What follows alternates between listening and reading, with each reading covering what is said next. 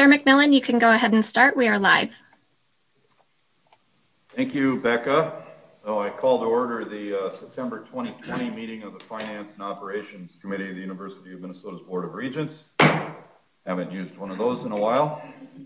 Tom, know if they still work. So, good morning, everyone. Thank you to those of you who are joining us live via the, uh, the, the live stream video, and those attending us, uh, joining those attending in our boardroom on the Twin Cities campus. They're the ones that are live. The ones on the stream are attending virtually. Thank you to everybody. Most of us are connected virtually today, but several regions are participating from here in this hybrid format, our protocol will remain much the same as our previous all electronic meetings, so just a couple reminders um, in that department. First of all, we will continue to keep everyone muted to reduce background noise. For those on Zoom, uh, the regents, if you wish to ask a question or make a comment, or anyone on the staff and the administration, use the raise hand feature within Zoom. Staff will keep, staff being Jason, will keep a speakers list uh, for me. When I call on you, please unmute yourself. All votes are, need to be recorded by roll call as required by Minnesota law. And finally, I'll remind everyone again that today's meeting is live streamed and it will be archived on our website for uh, future viewing. With the start of the uh, new academic year, we also have uh, new student representatives with us today. Sia Butar and uh, Laura DeMuth, but I don't believe either of them is able to uh, be here yet. They're having some technical difficulties. Apparently, when they are able to join, we will recognize them and uh, and and make sure that uh, that they're engaged here. Hopefully, we can get that resolved. With uh, with that, let's turn to our agenda. And item number one on our agenda is the uh, discussion of our work plan for the academic year in which we find ourselves already engaged. I uh, note at the outset that the plan was designed to provide us with significant flexibility as we continue to address the impacts of COVID-19 and provide input to President Gabel and her team as they start to implement the system-wide strategic plan. In addition, in addition, Vice Chair Beeson and I have made it a priority to include a number of discussions focused on human resources, led by Interim Vice President Ken Horstman, including a major item we have before us today. With that, Interim Senior Vice President Tonneson, is there anything else you'd like to highlight from the, uh, the work plan before I seek any input from, uh, from my colleagues? Uh, good morning, Mr. Chair, members, members of the committee. Uh, just a couple of things. I also wanted to emphasize that there are this year additional HR related items, uh, not only this month, but in February and in May. Uh, that was a priority uh, for the committee. The flexibility issue with new leadership coming in, I think is important. I do want to mention we're, we're starting up right away in October with something new on the finance side in terms of updating the committee on the current year budget, which we don't do in a I will call old normal year, uh, but we're doing that this year. But yet we are still allowing for a lot of opportunity to talk about development of the FY22 budget. So that's in there. Uh, the placeholders for the strategic plan, as you mentioned. And then just finally, we are continuing to provide a lot of reading material for the committee with um, information items every month that we hope are helpful to you as you go about your work. So it is a very robust agenda. Uh, with that, Mr. Chair, that's that's all I would choose to highlight right now. Thank you, uh, Interim Vice President Tonneson. Uh, Mr. Langworthy, any uh, input from our colleagues? I don't see anyone wishing to speak right now, Chair McMillan. All right. I do see um, one of our our student reps here. So maybe we, at this point we can, uh, I don't know if uh, Sia Butar is here, but I do see Laura DeMuth, a returning second year student rep. And uh, why don't we go to you now to introduce yourself since uh, we missed you at the very outset. Go ahead. Awesome. Hi there, everyone. My name is Alora Demuth, and I'm currently a senior at the University of Minnesota Crookston studying agricultural education and communication. And as our chair said, this is my second year as a student representative. Outstanding, and thank you for your commitment to uh, governance and, uh, and leadership, and uh, we look forward to your input. We don't have your colleague yet online, so we'll pick that up uh, later. All right, we don't need uh, action on the work plan. Obviously, that is a document that uh, that is dynamic, and in this year, anything that isn't dynamic isn't going to work. So we can move on to uh, uh, the first of a number of review items that uh, that uh, we don't have action on today, but they're big ticket items. And the first one is the 2020 six-year capital plan and the 2021 state capital request. And this is a formal review of the president's recommended six-year plan. And I invite President Gabel, Provost Croson, and uh, Vice President Bertelsen to present the plan. And uh, we will start with President Gabel. Thank you, Chair McMillan, Vice Chair Beeson, members of the committee. As part of Board of Regents policy, the administration is directed to develop a capital budget with a six-year time horizon updated annually. Members of the committee, our 2021 state capital request is identical to the request brought before the state in 2020, just adjusted for inflation. As will be described in greater detail in just a few moments, the first priority remains funding in, at $200 million for HEAPR. The next two projects were first presented in the 2019 state capital request and include the child development replacement on the Twin Cities campus and the renovation of A.B. Anderson Hall in Duluth. The fourth project, introduced last year, is a chemistry and undergraduate teaching facility on the Twin Cities campus. The over 353 million projects, um, 353 million in projects represent just over 302 million from the state and just over 51 million from the university. Also included is a renewal of the university's request to refinance outstanding bonds issued to fund the Biodiscovery District on the Twin Cities campus. This will result in savings estimated at 27 million, which would be used to acquire land and complete design for a clinical research facility on the Twin Cities campus. Members of the committee, although the legislature was unable to reach an agreement on a capital investment bonding bill thus far, we are still deeply committed to working with our state lawmakers and partners towards critical fundraising for infrastructure projects across the state, including these buildings and investments at the University of Minnesota. We believe a capital investment in the university is an investment in our state. It's an investment in Minnesota students who become workforce ready graduates and leaders. It's an investment in discovery and in research and in cures by our world class faculty who transform our state and our society as a whole. It's an investment in critical infrastructure, shoring up our buildings while putting resources directly into the hands of local contractors who would work on our projects across all of the campuses. So we look forward to taking important next steps towards this endeavor in the weeks and days ahead. Mr. Chair, Executive Vice President and Provost Rachel Croson and Vice President Mike Bertelsen are here to discuss our request in more detail. Thank you. Thank you, President Gabel. Pre- uh, Provost Croson, I assume you're next. Uh, I actually believe that Mike Bertelsen is going to Uh, start. Vice President Bertelsen, welcome uh, to the uh, committee, and uh, go ahead. Uh, Good morning and thank you, uh, Mr. Chair, and thank you, President Gabel. Let's begin. Uh, Next slide, please. As the President said, the six-year plan is required by board policy and is used to set direction for major capital projects. This plan provides for flexibility in later years. The six-year plan includes several placeholders that give the President and the Provost opportunities to make strategic decisions about the future of capital projects. The plan also includes a list of projects that are under consideration in order to provide the board with a clear picture of the broader pipeline of projects that may come before you in the coming years. Next slide. There are two primary forces that inform the plan. First and foremost are mission priorities. These are gathered from university deans and chancellors and then prioritized by senior leadership. We also collect and analyze our facility priorities based on their conditions. The facility and mission needs are balanced against available resources to arrive at the plan before you. Next slide, please. These six year plan priorities have largely been consistent for the past several years. We will speak to each priority briefly in the following slides. Next slide. Let's begin with the plan's first priority, addressing the university's poor and critical facility backlog. We aspire to be a world class university, but we cannot achieve or sustain that without important investments in our facilities. Next slide. We have a massive $12.9 billion facility portfolio, and 50% of our buildings are over 50 years old. 8.7 million square feet of this space is now considered poor or critical, and you can see that in the share of each circle in red. And that figure continues to grow each year, as you can see in the, the slot, the chart.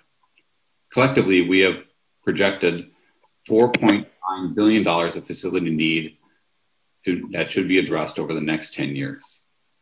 Next slide. How are we doing funding this need? What this chart illustrates is that we rely largely on unpredictable sources of funding to meet that need, HEAPR and major asset re reinvestment through the state capital request. The yellow range on this graph represents facility renewal investment targets. The bottom line indicates a minimum amount of funding necessary to hold ground on facility conditions, and the upper line indicates the target to make progress on reducing our facility renewal need. Repair and renewal funds and HEAPR form the foundation of renewal funds for the university, of which we are averaging $40 million a year of investment. Asset reinvestments represent all other facility renewal at the university. Mainly, these are projects funded by the state capital request and internal university funded renovations. As you can see, we have not been making our target investment most years, so an estimated $600 million has been added to our facility need backlog over the last 10 year period. Next slide. Our building by building strategy analyzes each building across several measures to determine which we must prioritize as keepers and which we have a lower priority for the long haul. This plan is particularly useful identifying and limiting increment, incremental investments into buildings that no longer have strategic value at the university. This is also important as we continue to look for ways to control our facility portfolio and increase our space utilization. Next slide. We remain hopeful that the state will continue its partnership with us and provide significant HEAPR funding. HEAPR is our main tool to address poor and critical space. We have a large list of projects that we could tackle with our $200 million request. In the end, the project list will be scaled to match the funding available. Many of the larger, higher impact projects like Duluth Chemistry Building Renewal or Mechanical Engineering Phase 3 on the Twin Cities campus will not be feasible without a large HEAPR allocation. I turn now to Provost Croson for the next several slides and other priorities within the six-year plan. Thank you, Vice President Bertelsen and uh, Provost Croson. Thank you, Chair McMillan. Thank you, Regents. Can you please go to the next slide? The University of Minnesota has one of the most comprehensive health science centers in the nation and trains 70% of the healthcare professionals in Minnesota. A clear building block of the reimagined health sciences opened its doors this spring. HSEC is the first project outcome of Governor Dayton's Blue Ribbon Commission and brings together students to learn in modern classrooms, laboratories, and simulation centers. The next project, imagined in the Blue Ribbon Commission report, is a clinical research facility. The 2021 state request will seek funds to complete design of this facility, followed by a request for full construction funding in 2022. Finally, major HEAPR investments are planned for all years, to address deferred renewal in many of the core health science facilities. Please advance to the next slide. The facility condition assessment work done by University Services indicates that some of our most deficient laboratory facilities are located on the St. Paul campus. Investments in St. Paul teaching and research laboratories remain a high priority.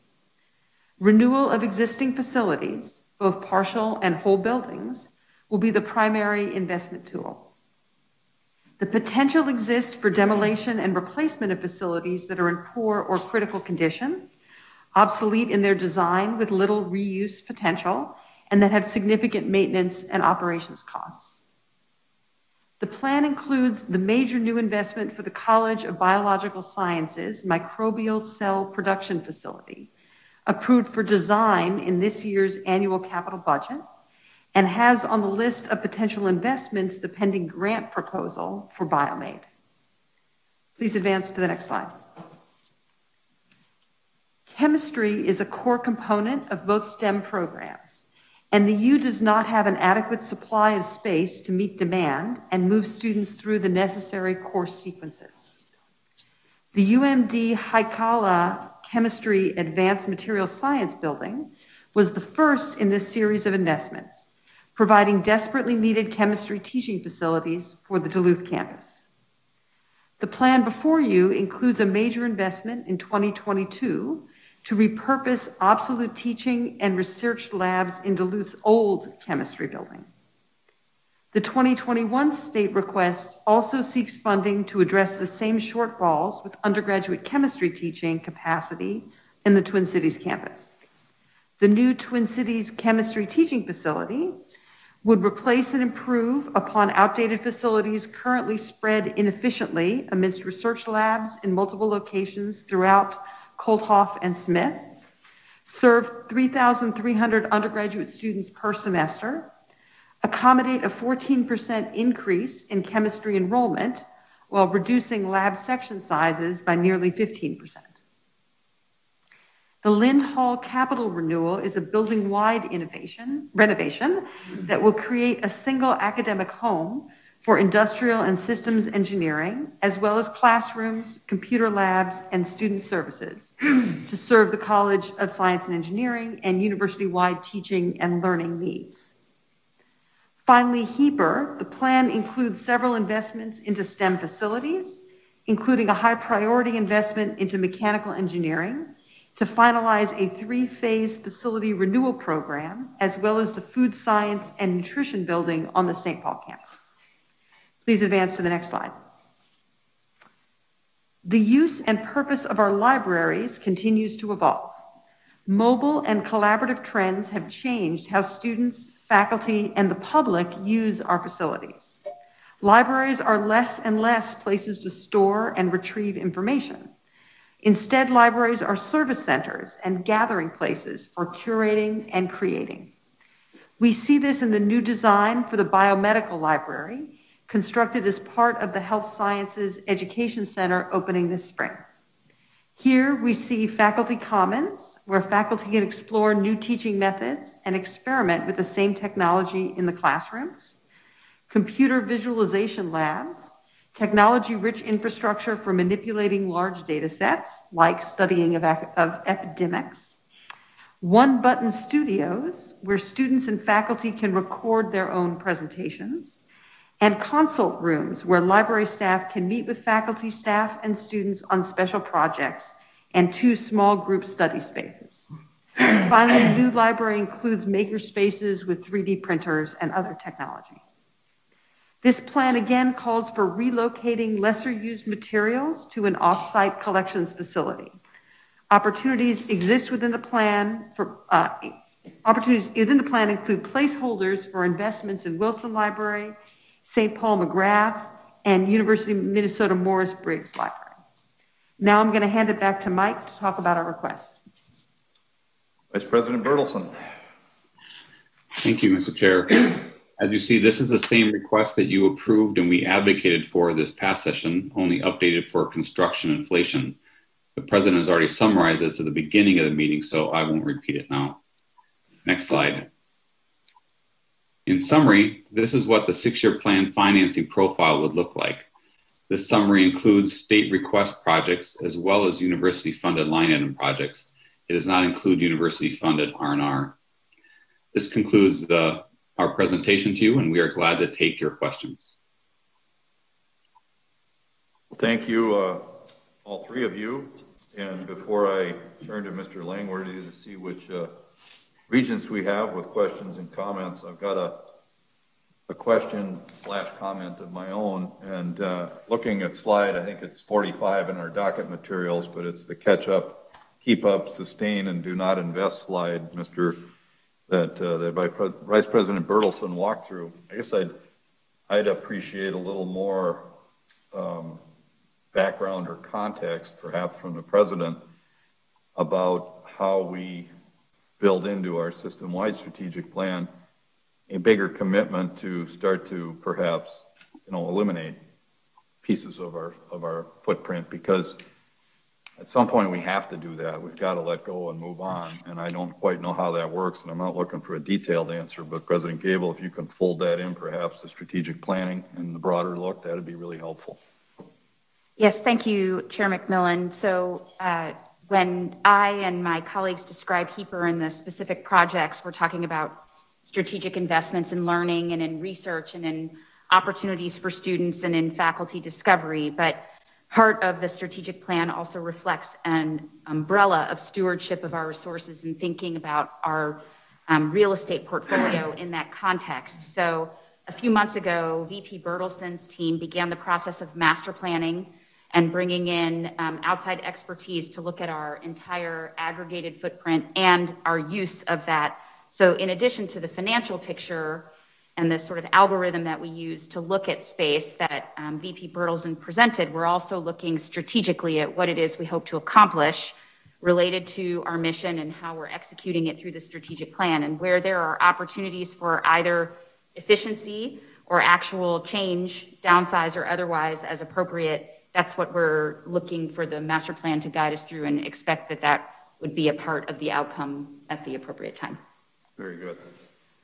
Thank you. Uh, Mr. Langworthy, do we have some interest? Regent Sviggum would like an opportunity to speak. Regent Sviggum, right here in the same room as me.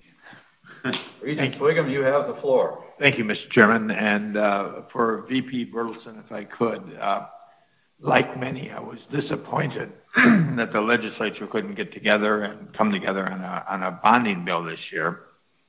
Uh, however, I know one of the things we talk about over the legislature is shovel shovel ready projects. So when they do get together and they do get a chance to uh, uh, maybe pass some uh, bonding bill legislation, are there things we can do either in acquiring land and or design work or anything, Mike, to make sure that we can tell the legislature this project, you appropriate the money uh, in the bonding bill. We can get shovels, we can get bulldozers or whatever scaffolding there tomorrow. So we're ready to go. It's shovel ready. Are, are we preparing for that uh, kind of a scenario to make sure we can tell uh, the folks over in St. Paul this project can go tomorrow when you uh, when you appropriate the money? Vice President Bertelsen. Um, Mr. Chair, Regent Sviggum, um, yes, we are taking actions uh, to do just that. Um, both for ICD and chem teaching, um, we are continuing to advance design in spite with university funds and don- donor funds um, so that those projects are even further ready um, the moment that the legislature would act. So we would be further along, we are further along and more prepared to dig in the ground and as you say, be shovel ready. That's also true for a variety of HEAPR projects. It's always tricky to know how many of those HEAPR projects to be fully ready, but many of those are fully designed and ready to just award um, to a contractor to begin immediately. Um, in addition to that, for the CRF project, we are continuing, um, and as you have already been approving some land acquisitions and are continuing that process to make sure that we are fully ready for these projects should the legislature act and give us funds. Thank you, Mr. Chairman, Mike. I think it's absolutely imperative that we be prepared to uh, to tell our friends over in the legislature we're ready to go tomorrow. It's shovel ready. Thank you, Regent uh, Sviggum. I know I've we've got a request from uh, from uh, Regent Powell as well. Regent Powell. Uh, thank you. Um, Thank you, Chair McMillan. Just a quick question. I believe it's for uh, Mr. Bertelsen. Uh, we mentioned that the biodiscovery uh, district, uh, that there's a refinancing opportunity there that could, um, you know, be very, very beneficial. I think he said 26 or 27 million dollars. Uh, could we just have a little bit of commentary on, uh, you know, how much is being refinanced, current rates, and and you know what sort of the approach that we'll be taking there? It sounds like a very, very good opportunity for us. Um, Mr. President Bertelsen, sorry.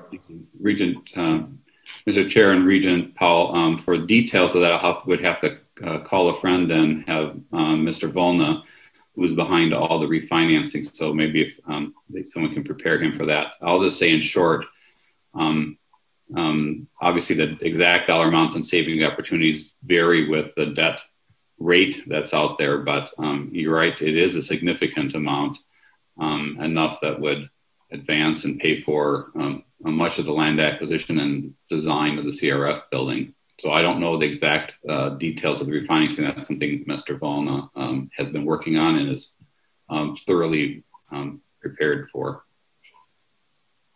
Thanks to the uh, marvels of technology here, I can see that uh, Vice President Volna is indeed here, and I saw him reaching for some papers, so I'm sure he's well informed and he's ready to go. Mr. Volna. Chair McMillan, um, members of the committee, thank you. Um, uh, Vice President Bertelsen is correct that the um, amount of the actual refinancing and savings does vary as the markets vary and as interest rates vary. Um, the last time we uh, looked at this, which was actually after these materials were presented, the markets had again moved in a favorable manner. Um, and the current estimate of the refinancing savings is in the neighborhood of about $30 million. Um, the amount, this pertains to uh, two or three different series of debt that was issued on the biomedical discovery district. Um, I was trying to quickly add up the three of those. I don't have it right with me. Um, I will give you that number uh, later on in the presentation when I have an opportunity to talk about the debt policy. Follow up, Regent Powell. Uh, thanks to Re- uh, Chair McMillan. Only that it sounds like uh, sooner is better than later, and, and, maybe there's an opportunity to advance this one. It sounds like there, uh, there's quite a bit at stake if we can kind of move on it. So I'll leave it at that. Thank you. Uh, I see that uh, we have Regent uh, Hsu has a question, or Regent Hsu. Thank you, Mr. Chair. Thank you, presenters. Um, I would like to get some more information on the uh, number 316 East Bank Capital Renewal. I see that that is uh, the new project uh, for the Armory. And um, I, I, am disappointed that the Armory has now slipped from 2021 to 2024. Uh, but I would like to get some more information about that if you have it. Thank you. Uh, Vice President Bertelsen. Guessing um, Mr. Chair, uh, um, your first Chair, that. Yes, thank you. Mr. Chair, Regent Hsu. Um, yes, we are disappointed as well for the delay um, without the shift of the not having a bonding bill this year has shifted everything back. Um, we have continued to do um, studies about both uh, what we call the Upper Church Street project, sort of the area of the old Bell, now 10 Church Street, we call it, um, as well as as well as the armory and trying to make sure we invest under we're doing scenario planning for what is the best um, mixes and fit of the programmatic opportunities there. We know that um, both of those are high profile locations. Um, and we know that a renovated armory presents opportunities for adding better utilization and better, more space use within that building because of this current condition leaves so much of it unusable. So we are continuing to do um, programmatic studies um, of the Armory and um, getting closer, I think, on um, what, what a proposed project solution for that project could be. And hopeful that um, we could be capital request advanced so that it can be part of the 2024 request. Thank you, Regent Hsu. Any follow-up? Uh, yeah, thank you for that. Thank you, Mr. Chair. Um, the other, I guess the other thing doesn't need to really be said, uh, which is uh, disappointment that we um, d- didn't have or don't have a bonding bill and um, doesn't look like we're going to have a bonding bill. So, um, but I will reiterate the fact that uh, you know, chemistry is extremely important um, for uh, the College of Science Engineering and other um, colleges as well now these days. And I, I, hope we can get that going as soon as possible. Thank you. Thank you, Regent Hsu. Uh, Regent Anderson. Uh, thank you, Chair McMillan. And uh, good to be here. Good to, good to be here again. Um, I guess my question is going to go to, uh, let's get him ready, Mr. Volna. Um, back pre-COVID, the debt management committee did a lot of studying on about uh, century bonds. And things look good, and I, I, I, agree that it takes cash flow to pay debt.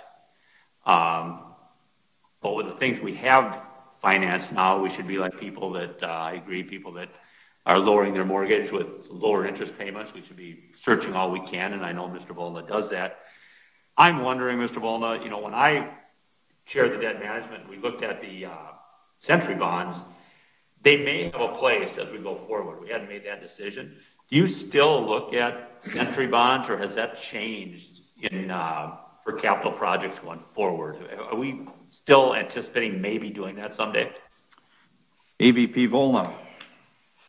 Chair McMillan, Regent Anderson, um, I, um, I'll, I'll, give you uh, where we're at on that, uh, keeping in mind that we have a new senior vice president coming in, and I certainly do not want to uh, get out front of um, him, so to speak, in terms of his thoughts around that.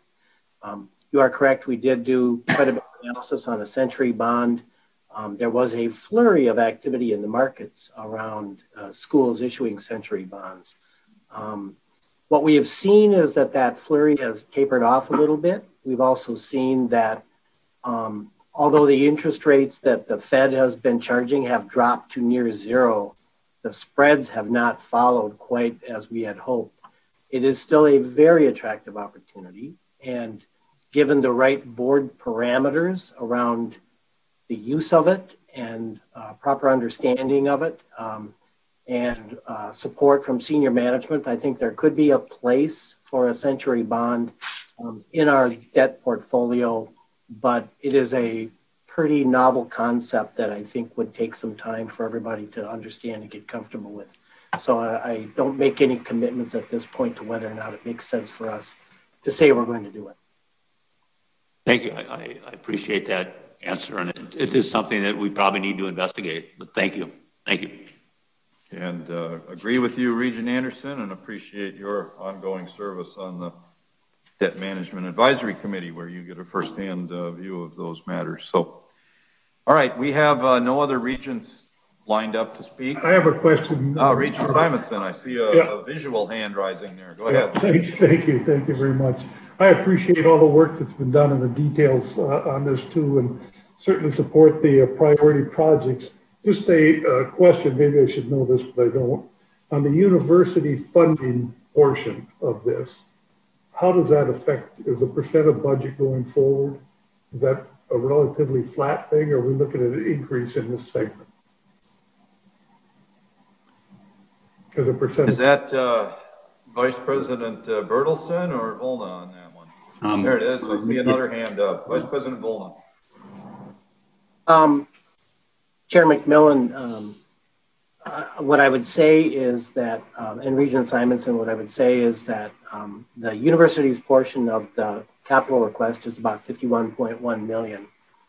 Given that we pay off between 80 and 90 million dollars a year already of existing debt, the net impact to our uh, debt burden and our debt capacity will be virtually flat. So uh, I do not see a problem with this in terms of the um, overall impact to the university budget or frankly to the ratings.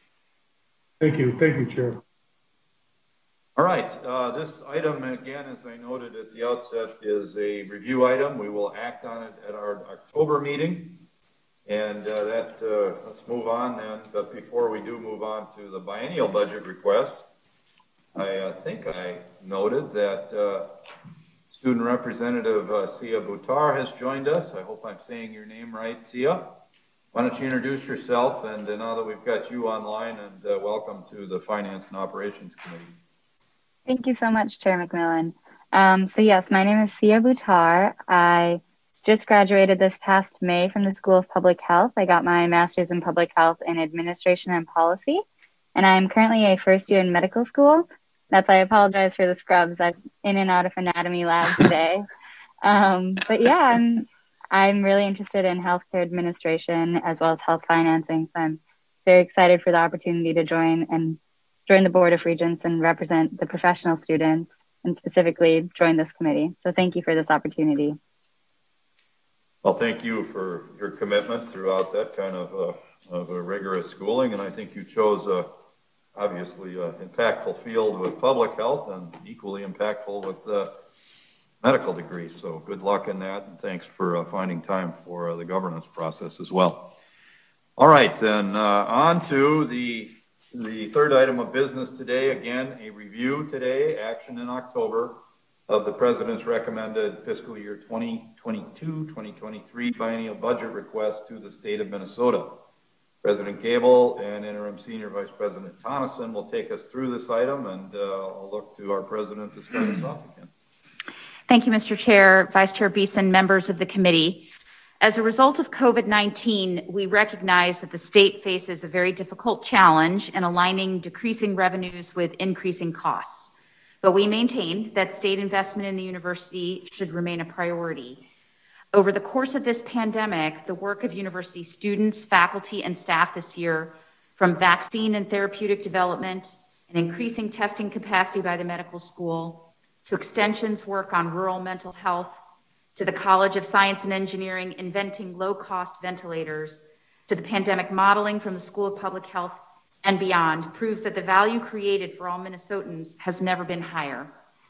In response to the state's financial challenges, our proposed biennial budget request is focused on maintaining the university's strengths while aligning work with aspects of our new MPact 2025 system-wide strategic plan on things that are important to both the university and the state of Minnesota. Each year, the university faces cost increases related to growth in services to support the needs of students, increased programming as a result of increased research activity, and inflation, particularly in areas such as healthcare, lab supplies, equipment, library materials, and facilities costs. In addition, after over a year of widespread salary reductions for many faculty and staff, and a strategic investment in an appropriate merit-based salary increase is necessary in order to maintain the quality of our workforce. Julie Tonneson, Interim Senior Vice President for Finance and Operations, is here to discuss the details of our recommended 2022-2023 biennial budget request in more deal, detail. Thank you, Mr. Chair. Thank you, President Gabel and uh, Interim Senior Vice President Tonneson. Yes, thank you, Mr. Chair, members of the committee. Uh, the recommended request we bring before you today builds on the priorities that President Gabel just discussed and reflects a strategy that has the university's mission and vision as its foundation it calls on the state to recognize its opportunity to share in the success of the institution through enhancing our ability to deliver on the goals of the system-wide strategic plan and by recognizing what it takes to maintain quality and preserve the unique experiences that we offer our students. It also reflects a strategy that we believe is fiscally responsible during this time of extreme financial uncertainty, and it strives to be simple and straightforward as well as compelling. Next slide, please. To provide some context for the request, we wanted to again ground the committee in some of the, the logistics and the basic information about the appropriation and the request process. The timeline for the request is the same as it has been in the past biennia. This summer, we started to receive budget process instructions from the state. In fact, just this week, we received their direction in terms of submitting change requests, which is what we're discussing today. We also began to develop different cost and revenue estimates for our overall budget under different scenarios so that we could understand how the state appropriation would support and complement those different models. That process led to the specific recommendations we are bringing before you today. When this request is finalized in October, we will submit it to the state. Their deadline, as indicated in the instructions, is October 15. That is why it is before you today for review and action then in October. We anticipate meetings with Minnesota Management and Budget and the governor's office, resulting in his recommendations being released sometime in December. And then the legislative process begins, culminating in what we hope will be a final higher education appropriation bill signed by the governor by the middle to the end of May. Of course, these are plans. This is based on what's happened in the past. They can change, but this is the best information we have as of today. Whatever the appropriation ends up being in the end, we will build it into the annual budget before you for review and action in June. Slide, please. For the basics on the appropriation itself, above the blue line, you see what's what's called what we call the O&M appropriation or the operations and maintenance appropriation. That's the large unrestricted block grant we get from the state of Minnesota, and those dollar amounts are for the current biennium.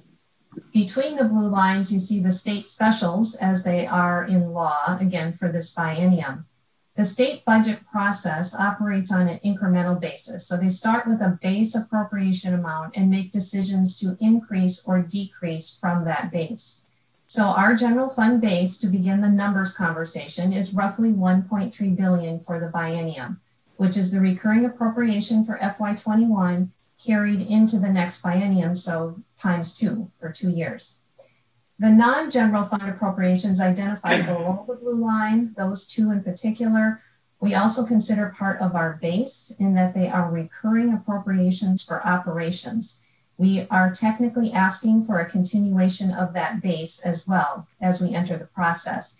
Those numbers have not changed for about 15 years or more. Uh, slide, please. I thought it might also be useful to see some history on what has actually occurred since the mid 90s related to our requests and what we actually have received in appropriation changes. As you can see, we have consistently requested base increases over 5%, sometimes well over 5%, uh, until the proposal we are bringing before you today, which you will see shortly, is at 3.5%.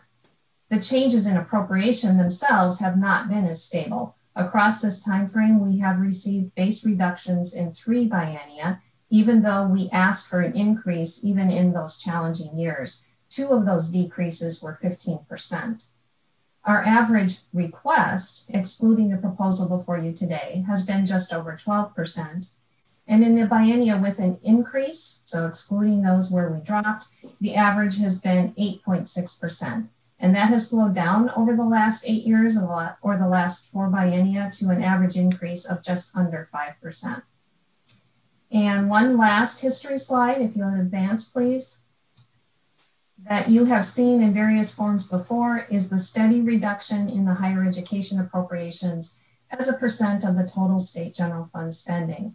Going back to the nice round number year of 1990, the appropriations to higher education were 14.5% of the state's general fund spending, with us and Minnesota State each receiving just over 6.5%. I didn't plot the Office of Higher Education or the state grant program. They are relatively small, but those are the two other pieces in the total higher education appropriation. Across the years, the two systems have trended down together, as you can see by the line so that for the current year, Minnesota State receives just over 3% of the state's general fund spending, and we receive just under 3%. The total for higher education now sits at about 7%. Not a surprise to any of us, it has been difficult to maintain, let alone increase the state support of higher education. And this has been happening across the country. But that doesn't mean we shouldn't try. Uh, slide, please. What we are bringing for you before you today is essentially one item. A request to not only maintain our base appropriation, but to provide an increment above that base of 15.5 million in FY22 and an additional 15.5 million in FY23. In what we call biennial math, that is a $46.5 million increase. Biennial math compares one two-year period to the prior two-year period so you have to take the first year's increase that will occur twice in the next two years. You have to take that times two and then add the second year increment because it will only occur once in the next biennium. When you do that, that 46.5 million represents a 3.5% increase above that total biennial or two-year base appropriation. Our goal was to remain simple, straightforward, and honest and determine an amount that will help us maintain the quality of our programs while recognizing the financial challenges the state must address. We believe this request is responsible in that context. Uh, slide, please. We are all hoping that life settles down a bit from what we've experienced in the past six months or so. Uh, but we also know that the higher education environment is one of constant change and renewal. In order to stay in place, we will need to address the cost pressures you see identified on this slide. These are not new. They are core to our operations and will not go away during the pandemic or in the post-pandemic world. Compensation for our talented uh, people, compliance requirements, facility upkeep, the basic infrastructure to remain competitive for external grants, those are important every year. And they are all intertwined around the very real need to give attention to existing program areas throughout the state in order to remain vibrant for our students and the state and even the globe. For the next two years, we also want to emphasize that throughout our budget, we will be focusing on highlighting the links between resource allocation and the goals and priorities of the system-wide strategic plan. Uh, advance the slide, please. Specific to the biennial request, we are proposing that if the appropriation increases are approved, we will focus some of those new resources specifically on the intersections commitment of the system-wide strategic plan and the three goals approved under that heading. We believe these three areas, driving innovation for next generation health, building a fully sustainable future, and advancing natural resources and agro-food systems are three areas with direct connections between university strengths and opportunities and the needs of the state. Our experts are working on detailed action plans under each of these uh, to achieve the goals, and you can find a summary of their early planning ideas in the docket item summary on page 55 of your materials. But we are excited about the opportunity to make that connection between state support and advancement of these initiatives. Slide, please. It is too early in the budget process uh, for a great deal of specificity in cost estimates, but we feel confident in some very high level projections for the next biennium. The numbers you see here under budget challenge are the result of some early modeling for different salary and fringe cost assumptions, facility cost increases primarily for utilities and debt, technology maintenance agreements, and then some general pools for program investment, including the intersections initiatives I just mentioned. Our early planning on how to address those costs involves the requested state appropriation increase that you see here at $15.5 million. That would be roughly 28% of the challenge as we've defined it uh, early on here. But the majority of the challenge, so 72% in this case, would be coming from the combination of continued internal budget cuts or reallocations, potential limited growth in some of our other revenue sources, and potentially thoughtful and strategic increases in tuition rates and our targeted growth in enrollment, which would generate incremental revenues. There is no planned definite assumption on tuition rate increases as part of the request. Uh, slide, please.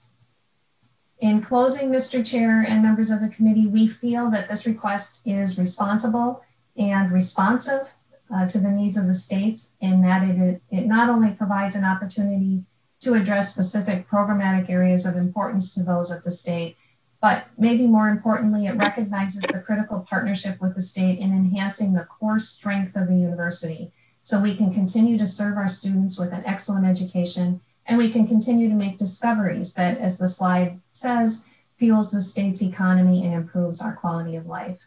Uh, and with that, Mr. Chair, I will stop and invite the committee's thoughts and discussion.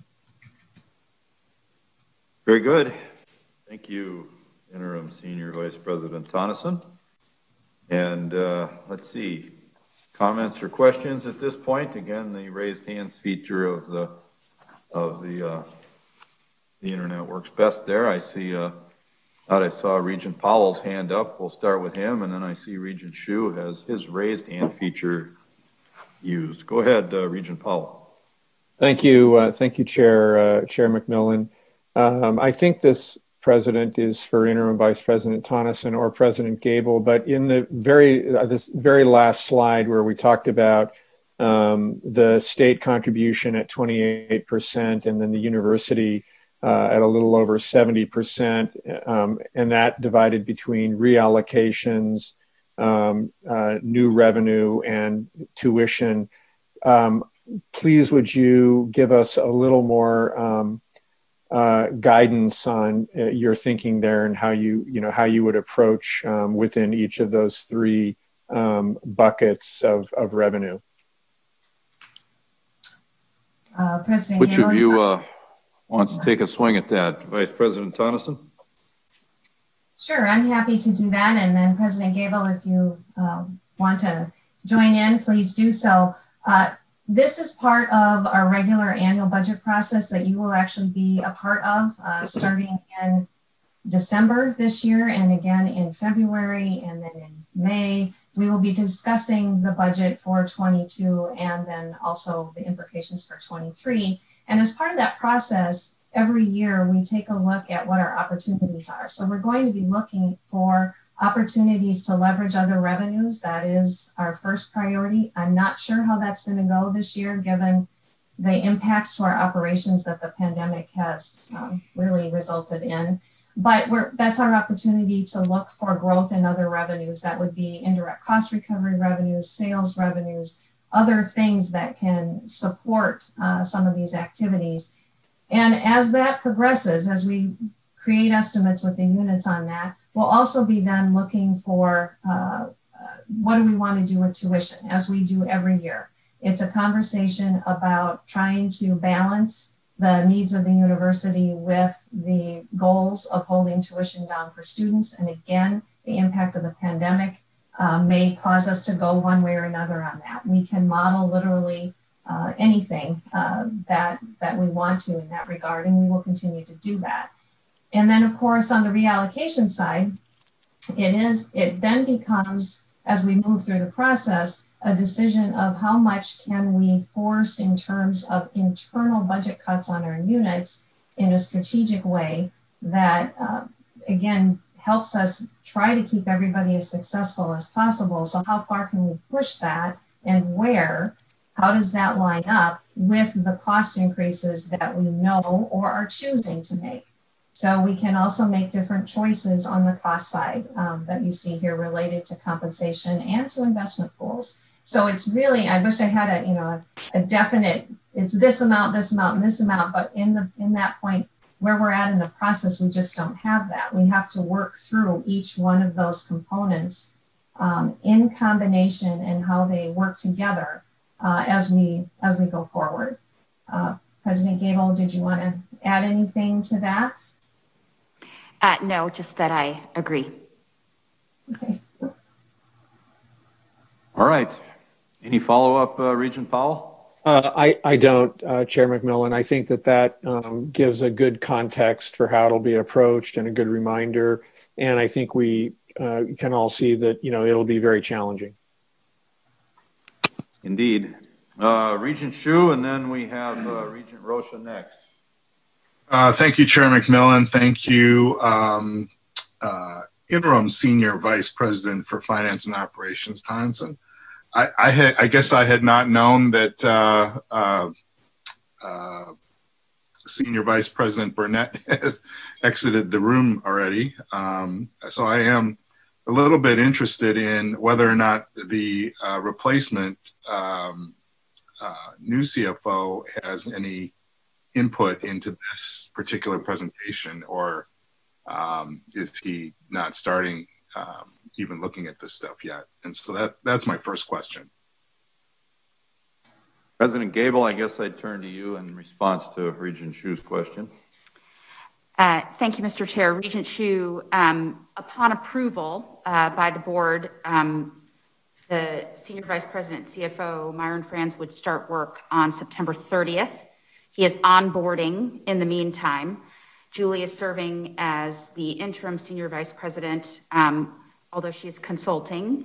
But uh, the plan is being the plan has to continue to move forward for your review so that we can get it to the state by the deadline. And so um, we bring it forward under her leadership as the interim senior vice president. Okay, thank you.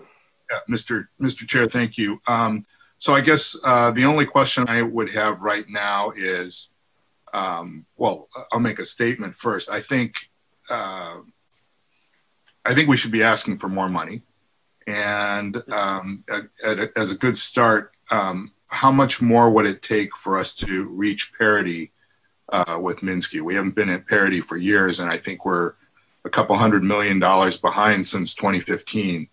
Um, so I was just wondering what that number would be today if we were to um, try and achieve parity next session. Interim SVP Tonneson, you happen to have that uh, parity number at hand? I think it's showing on your chart, but not called out. Uh, Mr. Chair, Regent Hsu, I don't have that uh, right and, and I'm trying to think through all my spreadsheets really fast to see if I could pull it up. Uh, I may try to do that during the meeting, but if not, I will get you an answer shortly after the meeting. I just don't have their specifics right handy today. so I apologize for that. Any Thank other follow-up, Regent Hsu? No, I just think we should uh, get get try to reach parity uh, in the in the next biennium. Thank you. Thank you. Uh, Regent Rosha. Thank you, Mr. Chair. Just just a couple real quick comments. First, I think that it's uh, it's sound um, to operate under the assumption of, of uh, no additional uh, tuition increase. Um, you know, I guess theoretically there's a possibility that that uh, an increase um, would be necessary or warranted, uh, but at the same time, I think it's uh, reasonable that we may be looking at uh, making an adjustment downward based on what we're able to provide an offer um, to students and you know sort of what the world looks like here in the coming months. Um, the second comment that I will, you know, that I'll make um, is that, you know, we've really got to be thoughtful about how we present ourselves to the legislature. Um, you know, so often the university, we kind of sit back and, and we're critical of the legislature for um, for the, the, the amount of support that the university receives. But you know, really, it's you know, I, I think we start with our own house first, and and uh, uh, when you consider the fact that they are going to have many many uh, entities that will rely on the state for their very survival. You can imagine it's a you know when when you're often perceived as the 800 pound gorilla uh, with with you know massive resources as the university is perceived by many, um, it, you know it, it's going to make our our argument that much more difficult. And so I would just make the appeal that um, if we're going to be successful in in you know it, again hopefully as Regent Hsu points out re- restoring the parity that we had long enjoyed uh, with our sister system in the state, um,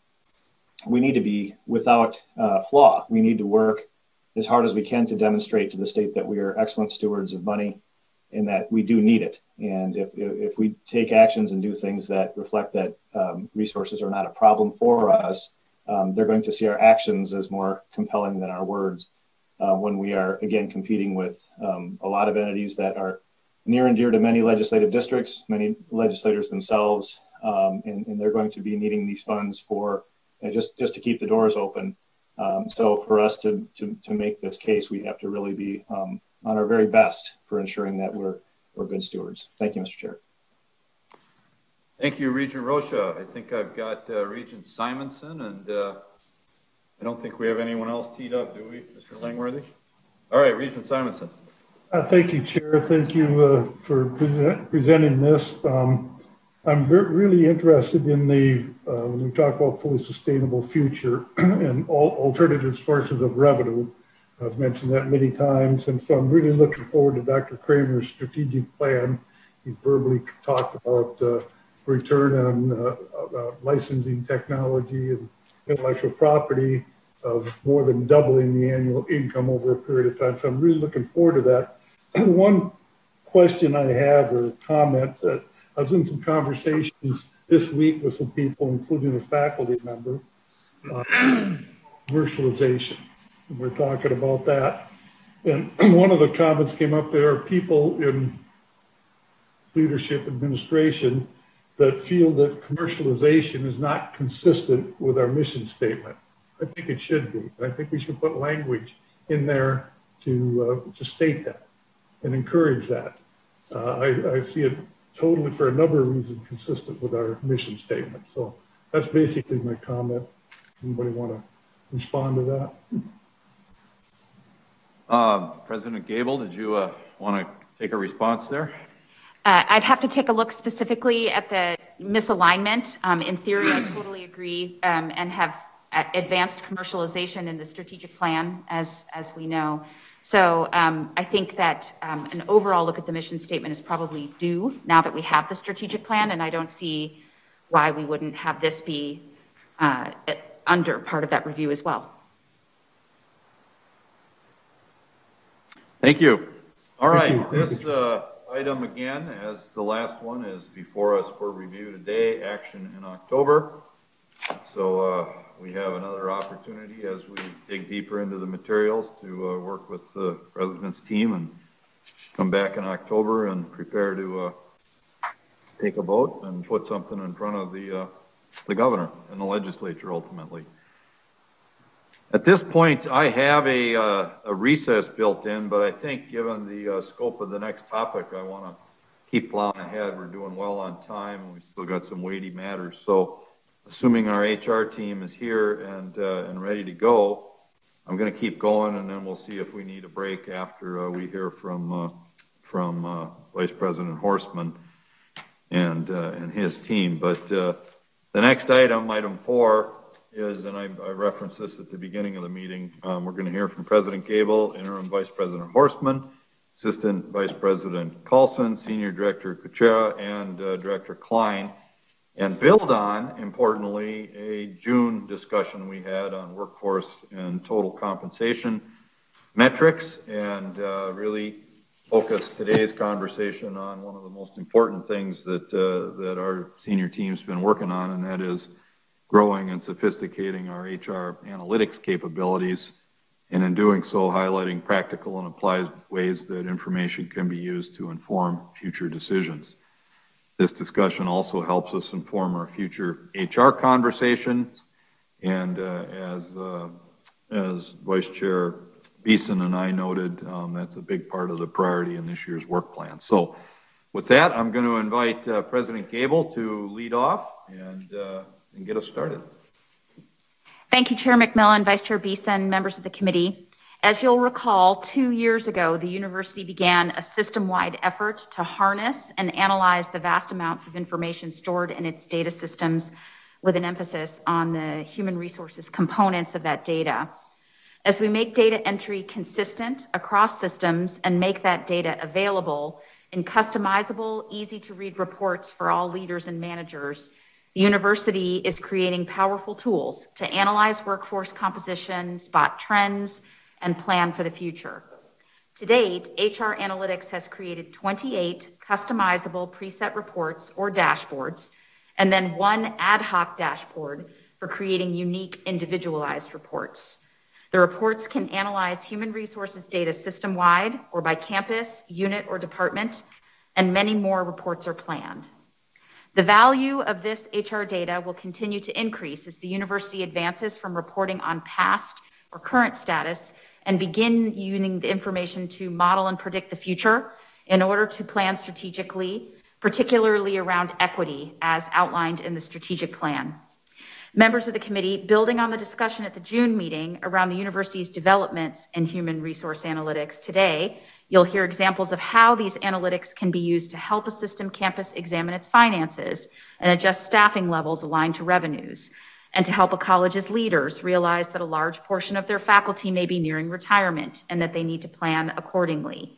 Joining us with these examples and others are Interim Vice President for Human Resources Ken Horstman, Link Carlson, Assistant Vice President for Institutional Analysis, Amy Kuchera, Senior Director in the Office of Human Resources, and Phil Klein, Director in the Office of Human Resources. And at this time, I would like to turn it over to that team for their presentation, Mr. Chair. Thank you, President Gabel, and it's uh, over to you then, Interim Vice President Horstman.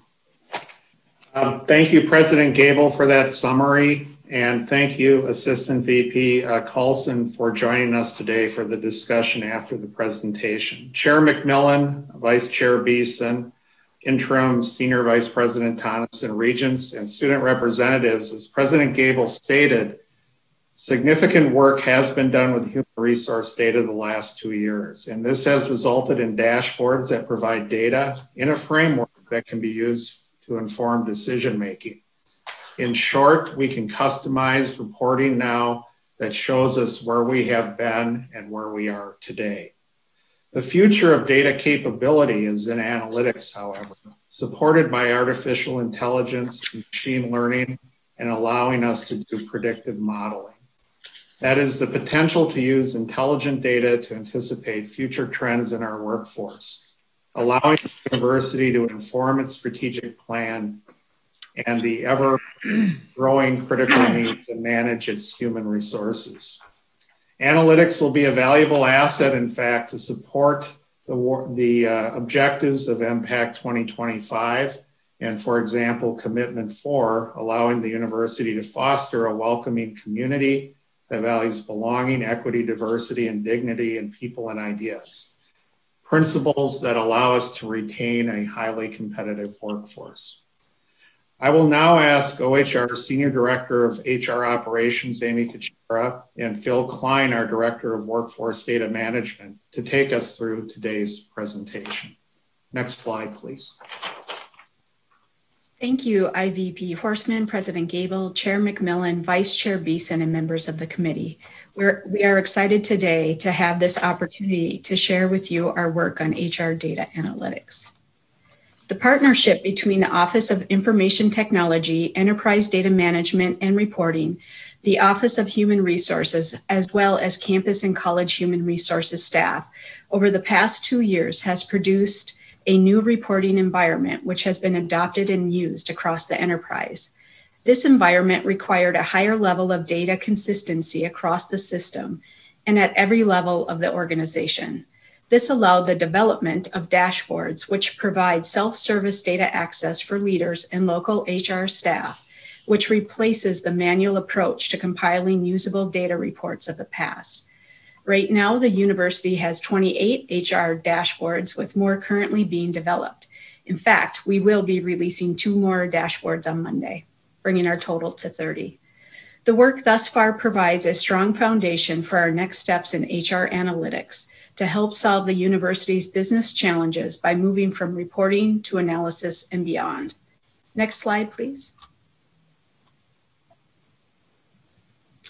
The university is now poised to further leverage analytics and workforce planning as our capabilities are enhanced. Solving critical business problems at the university can be supported using these tools and techniques. This requires a move forward in both our technology and reporting, as well as a transition in our thinking about the university's enterprise HR function. It also requires us to develop a new expectation of university leaders to make data driven business decisions given their access to these dashboards. I will now turn it over to Director Klein, who will walk you through two examples of how this data can be used to support relevant business challenges at the university today. Thank you, Senior Director Kuchera, Chair McMillan, and fellow regents. Here's our first example. These reporting tools that we use in this example are in place in HR analytics today. We're using the example of revenue challenges in a system campus. The question is, how can we adjust our staffing levels to bring employee costs in line with revenue expectations? So we start with the who and what. First, we would need to understand what the workforce is. We can use the dashboard employee headcount by workforce category and drill down to the system campus employee population. Next slide, please. Next, we need to know the compensation costs for that same population. We can use the institutional based salary and non institutional based salary dashboards to gather this information. Cross referencing these three data sources allows campus, unit, or HR leaders to understand where the talent shifts need to occur and what the compensation impacts of those shifts would be. Leaders can then use these data to identify workforce strategies that would meet the original business goal. Next slide, please. In this second example, we start with this question. With a large portion of a unit's faculty nearing retirement age, how can we ensure our faculty staffing will meet the projected need in the next five to 10 years? Again, we start with the who and what. First, we use the data to understand what the age of the workforce is in the unit by employment group. Here we use the dashboard Employee Headcount Demographics. Next, we recently completed a machine learning proof of concept in partnership with the Carlson Analytics Lab at the Carlson School of Management. As a result, we created a new report that can actually provide a forecasted schedule of departures, the predicted employees dashboard. Or I'm sorry, the predicting employee departures dashboard. Next slide, please. Knowing this information, we could use this upcoming retirement transition to help retain a diverse workforce that mirrors our student base using the equal opportunity, equal employment opportunity goal setting tool. Last, using planned recruiting analytics tools, which are currently being considered for prioritization, we can guide the search for the diverse and engaged faculty members to advance the college in its mission. We hope these two examples help to illustrate how HR analytics can help the university make data-driven decisions to meet critical goals. Now I will turn it over to Senior Director Kuchera to finish the presentation. Thank you, Director Klein. HR analytics are based on a foundational partnership with Enterprise Data Management and Reporting, the Office of Information Technology, and HR across all campuses, colleges, and units, which have been developed over the past two years. Today, we have solid data on employees, positions, compensation, and demographics, which allows us to provide this enhanced reporting. This has been achieved in partnership with campus, college, and unit HR professionals who support consistent data entry and leverage data in decision making. Additionally, EDMER provides a governance structure and cross pillar partnerships. OIT provides the technical resources and infrastructure for HR data, and OHR leads the HR analytics efforts and brings a perspective that focuses on system wide people needs and resources. With that, I will open it up for any questions you may have for us today. All right, uh, thank you, team. And uh, I'm guessing there's some interest here, but we'll give Regents a minute to uh, to uh, grab their, raise their hands if they. Regent Hsu, you get to start.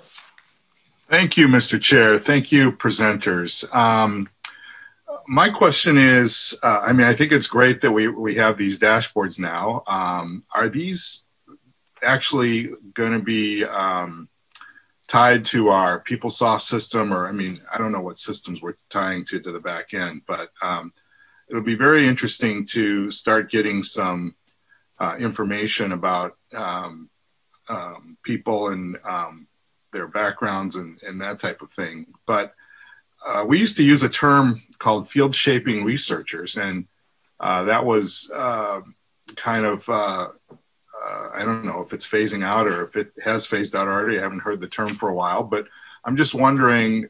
We didn't seem to be able to track who was a field shaping researcher back back uh, a couple years ago, and I'm wondering what are we what are we doing to um, actually capture um, like new subjective data like that.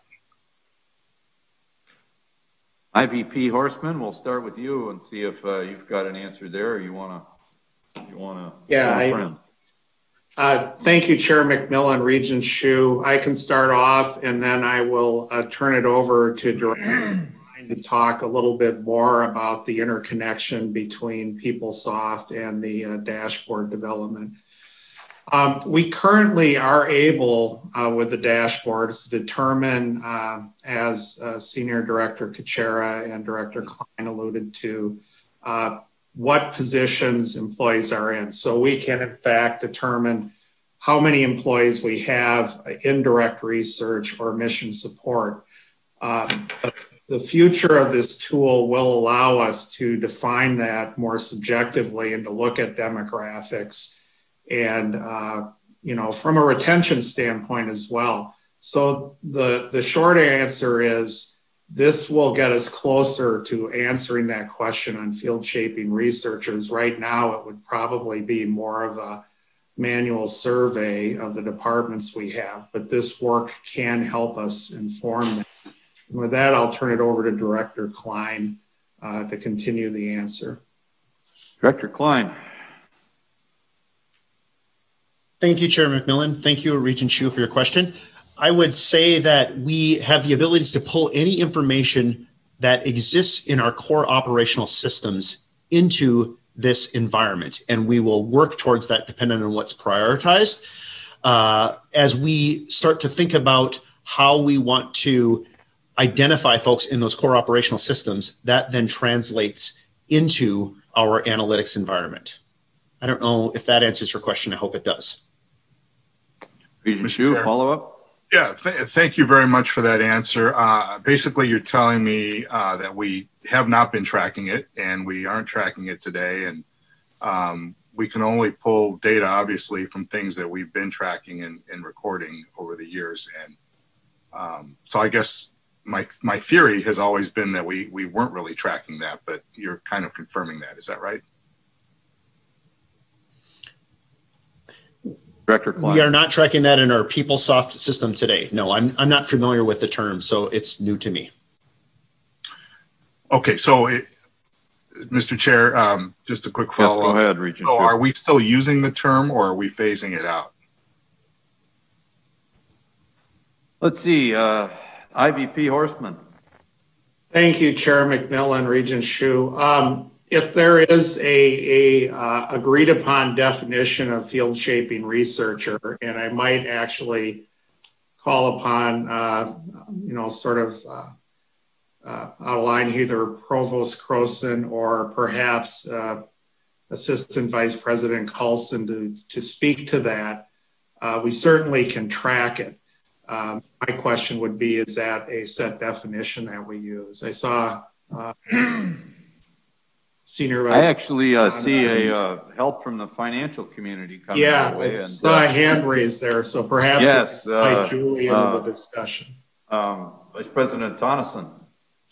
Uh, Mr. Chair, members, I, the only thing I would add to this part of the conversation is, and maybe just because I've been around for a while, uh, that term I remember also, uh, Regent Hsu, and it was in my memory related to describing initiatives of the university. If it was part of the biennial request or part of our budget, it was a term that we used um, in planning for and describing how we wanted to advance part of the mission. And so I don't think we have ever in that time or today called that a, actually coded people with that particular title in our systems. It was more about using it as a descriptor. Um, and if anyone else has a different memory, please chime in, but that is how I remember the use of that term.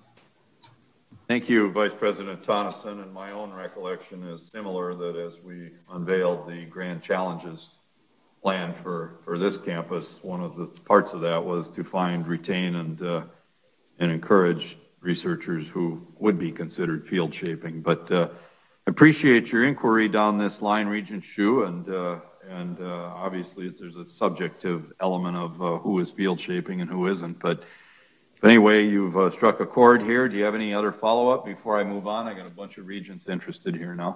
No, I'm done. Thank you. Thank you. Very good. So uh, next up, we have Regent Beeson and then Representative Buttar. Thank you, Mr. Chair. Good morning, colleagues, and uh, thank you, Interim Vice President Horstman and the directors for the presentation. This is um, really, really important. Um, it is built on the foundational work that's been done by um, by the folks in HR, including former Vice President Brown. Um, it really came out of this whole um, story about administrative bloat in the Wall Street Journal article. This goes back almost my whole tenure now in the Regents, and getting to a point now where we we um, have produced uh, models and um, uh, introducing this culture of data-driven decision making on the business side, uh, I think is momentous.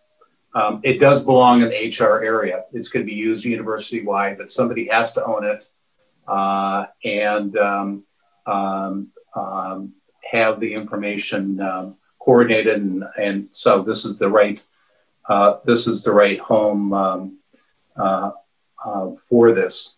The there's a lot of ways that's I mean I'm pleased that's already being used. To me, the most effective way to drive this into the culture is to make sure that the senior leaders use it, both in terms of implementing the strategic plan, but also an annual work plan. So when the president lays out the work plan for her cabinet, there needs to be references to this to the analytics and citing analytics and goals, using the data and creating goals out of uh, the work uh, for the year is a very effective way because that will then waterfall it down to the rest of the organization. So using these is is is is really critical. And you know, um, when we talk about data-driven analytics and decision making, it's it, that can frighten people. But I would contend that this is data is what our faculty use and it's what our researchers use. It's using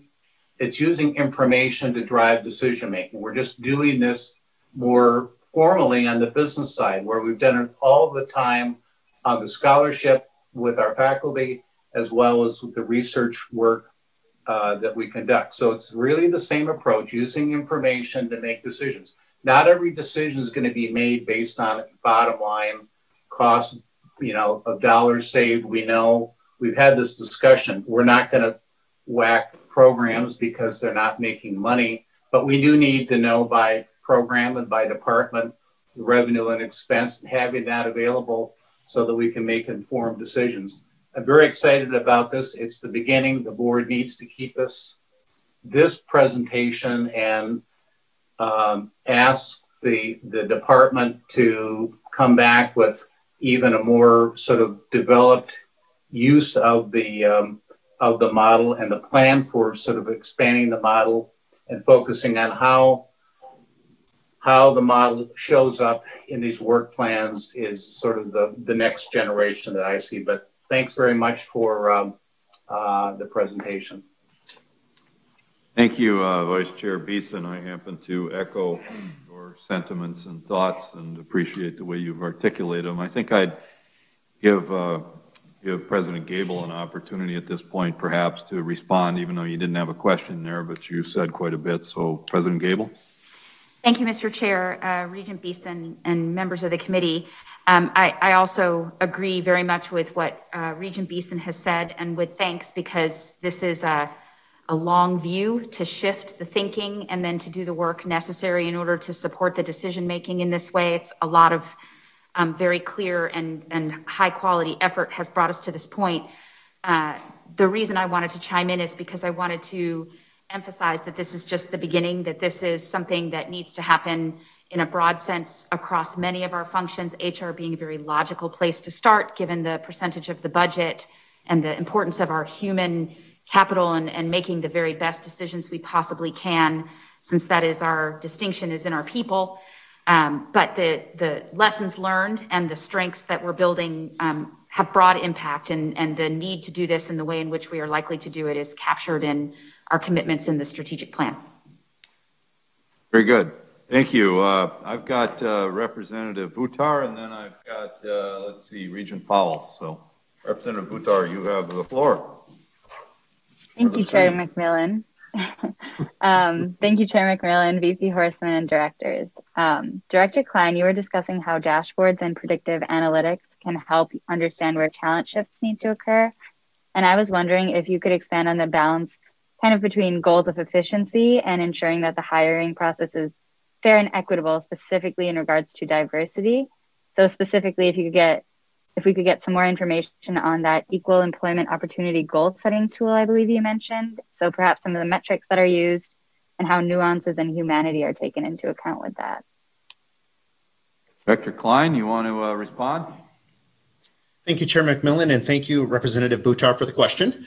Uh, I can certainly speak a bit about that EEO goal setting tool. Uh, specifically, the university is required to uh, meet by law um, some equity and diversity goals. And what this tool does is it takes information from the global market, uh, imports that into the tool, and then uses that information to look at where the university is in regards to the market and helps us to understand where we have what I'll call catch up to do, or perhaps where we're ahead of the curve on those uh, diversity goals.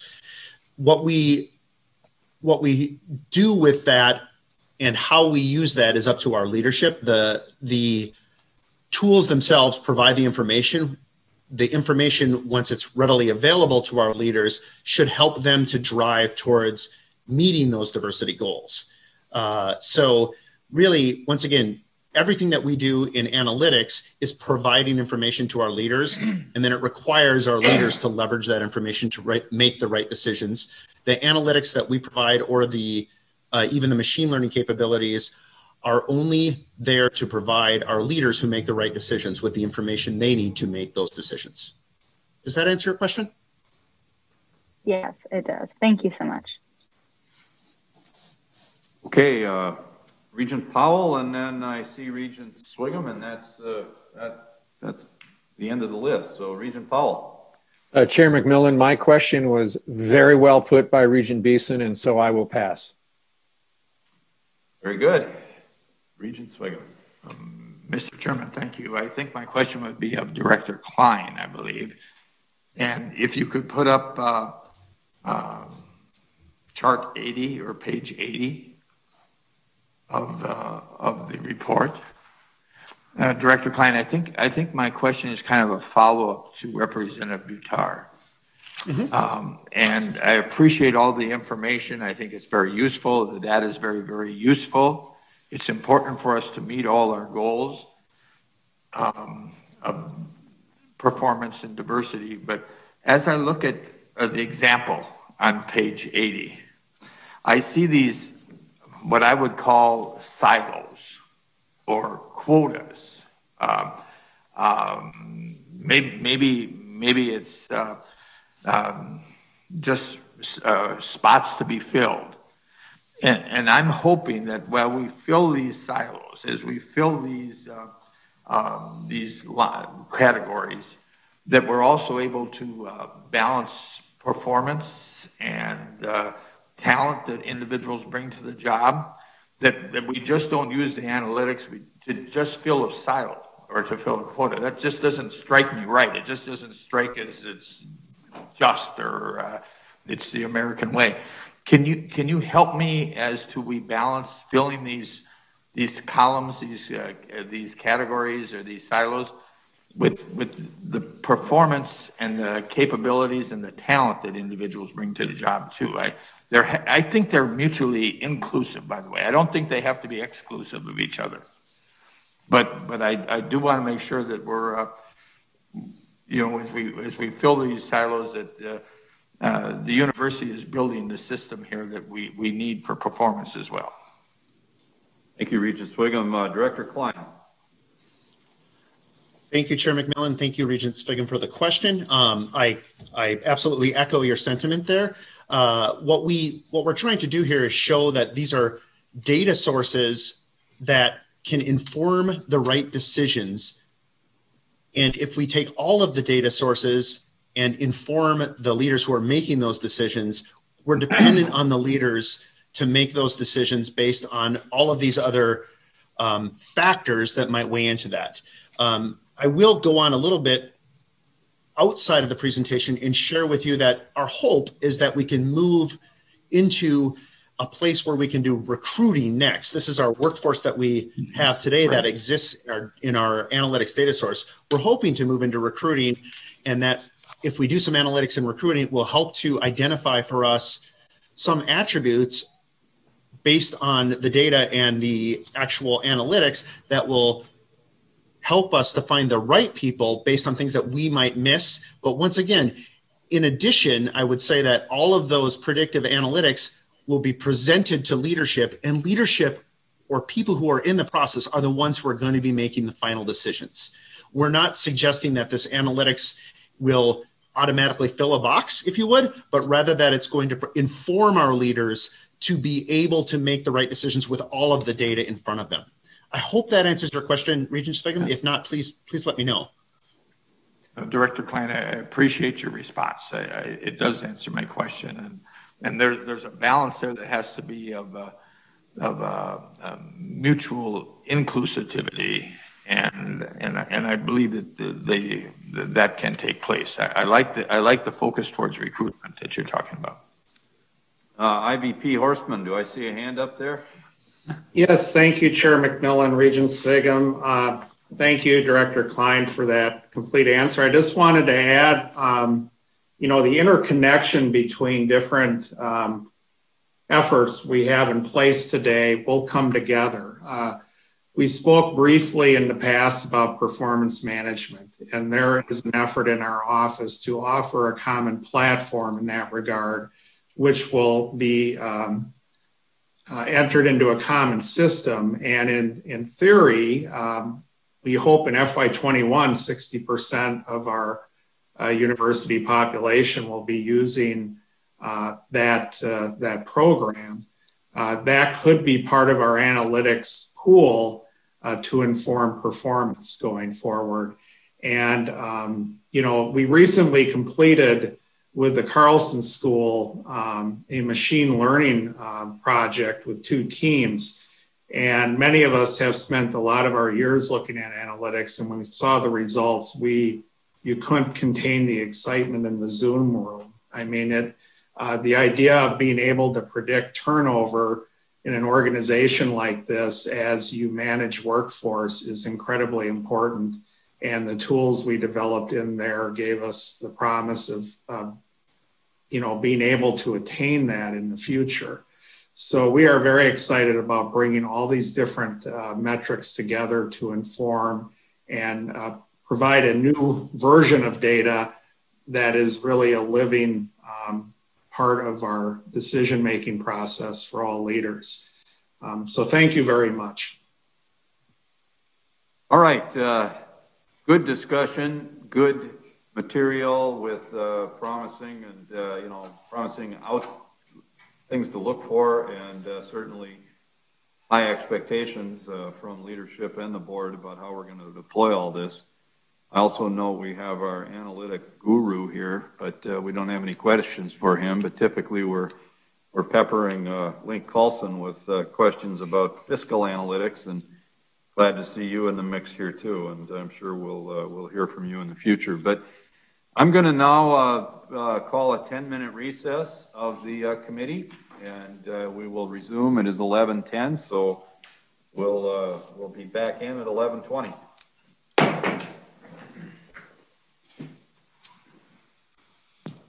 Who is that?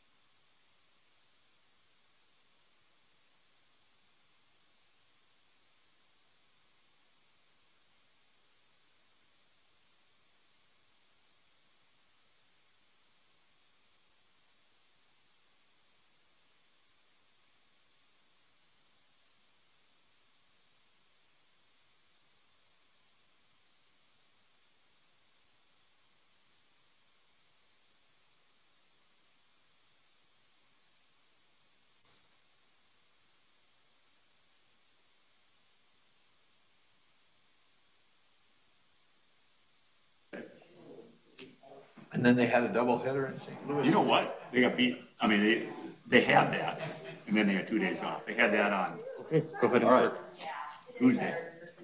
We're only a game ahead. Okay, everyone assembled uh, uh, really in real time here and uh, virtually. We're ready to uh, resume the uh, meeting of the Finance and Operations Committee.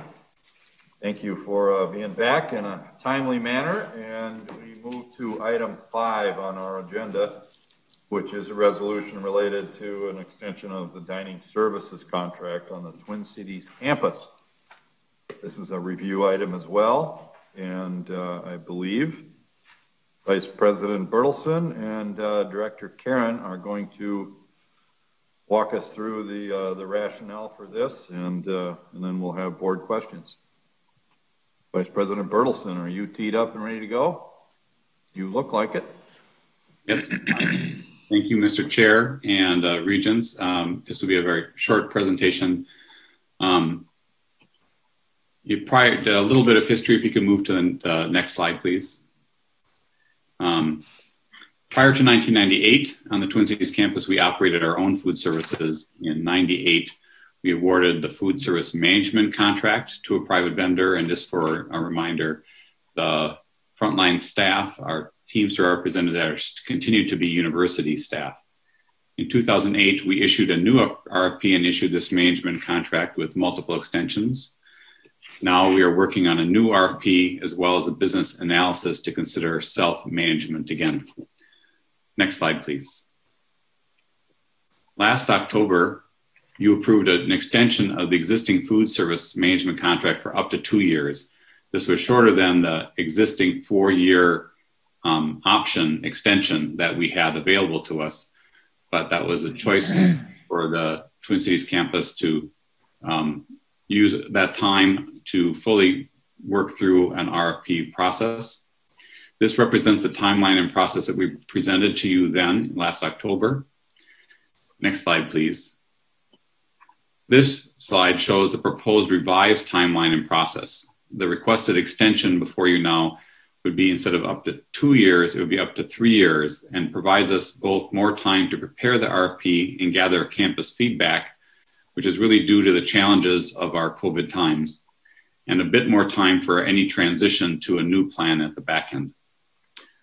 Next slide, please. This is the resolution. And with that, um, we welcome questions. Thank you, Vice President uh, Bertelsen. Um, so the long and the short of this is the uh, pandemic has derailed opportunities to consult with communities that are affected and uh, elements of our university community that are affected by this, and even and equally importantly, perhaps more importantly, it's derailed the the marketplace. So it's a bad time to go out and seek bids, and uh, that makes sense to me. But rather than me commenting on it, let's see what uh, other regents have or questions, comments. I don't see any yet, so let me take a moment while folks uh, find their raised hand feature. And if there aren't any, we'll move on and we'll act next month. Mr. Langworthy, anyone interested? No, there's not, Chair McMillan. Okay. And I'm going, well, let me just wait a moment longer here. Okay, let's uh, move on to item six then, which is, uh, again, review. A lot of review items today. October will be busy. Uh, Chair McMillan, Regent Hsu oh, sorry. chimed in at the, the last second there. Regent Hsu, I waited just long enough. I knew you might have a question. Yes, thank You're you. on. Thank you for waiting. Uh, can you hear me? Okay. Yep. Um, yeah, I just, uh, you know, this uh, has been dragging on for quite a while, and the students have been complaining, and uh, I've, I've seen some very bad pictures of food, and uh, I, I just would hope that we uh, uh, come to some conclusion on this sooner rather than later. And um, I'm a little bit concerned about the uh, extension for up to two years, seeing as though maybe only one year would be necessary, but that's something we can discuss uh, at the next meeting. Thank you, Regent Hsu. Uh, Regent Rosha, I think you uh, got a raised hand in there too. Go ahead. Yeah, thank you, Mr. Chair. And, and, and you know, based on you know, the fact that this is review, I, I, you know, this is a challenge. I, I was hoping that our, the student representatives may have uh, some input for us. Um, it, it, the, the timing, particularly with the transition back to class, I mean, this has obviously been an issue for students now for a couple of years, and I would um, join with Regent Hsu's concern about going up to two years. I think that if you know, I would, I, I could potentially support if the students are um, in concert with it, a, a one-year extension. Um, you know, the, obviously the difficulty for for students to uh, have impact on issues like this is, is, the you know the fact that they turn over, and two years is a lifetime uh, when it comes to student leadership. I think for many people, they just start getting their legs um, when they're juniors and then they're graduating and and a whole new generation has to get involved. So to, to be fair to that um, constructive process uh, with, with the students on uh, and and the and the, the university community generally, people that that rely on um, the result of this contract, I, I, would like to see it, um, you know, finite. And and and, and, my support would be contingent on uh, the, student leadership um, having taken a look at this and, and, responding that they believe that there's a legitimate opportunity for them to continue to um, uh, be part of this process. Thank you. Thank you, Regent Rosha. All right, now we'll move on to, uh, that'll be back before us in October with the opportunity for everybody to uh, weigh in in between or at that time. Item six is a uh, Board of Regents policy uh, that we're going to discuss. First of two board policy items and uh, review some proposed amendments to the uh, debt transactions policy, and I believe AVP Volna is going to walk us through uh, this one. Yes.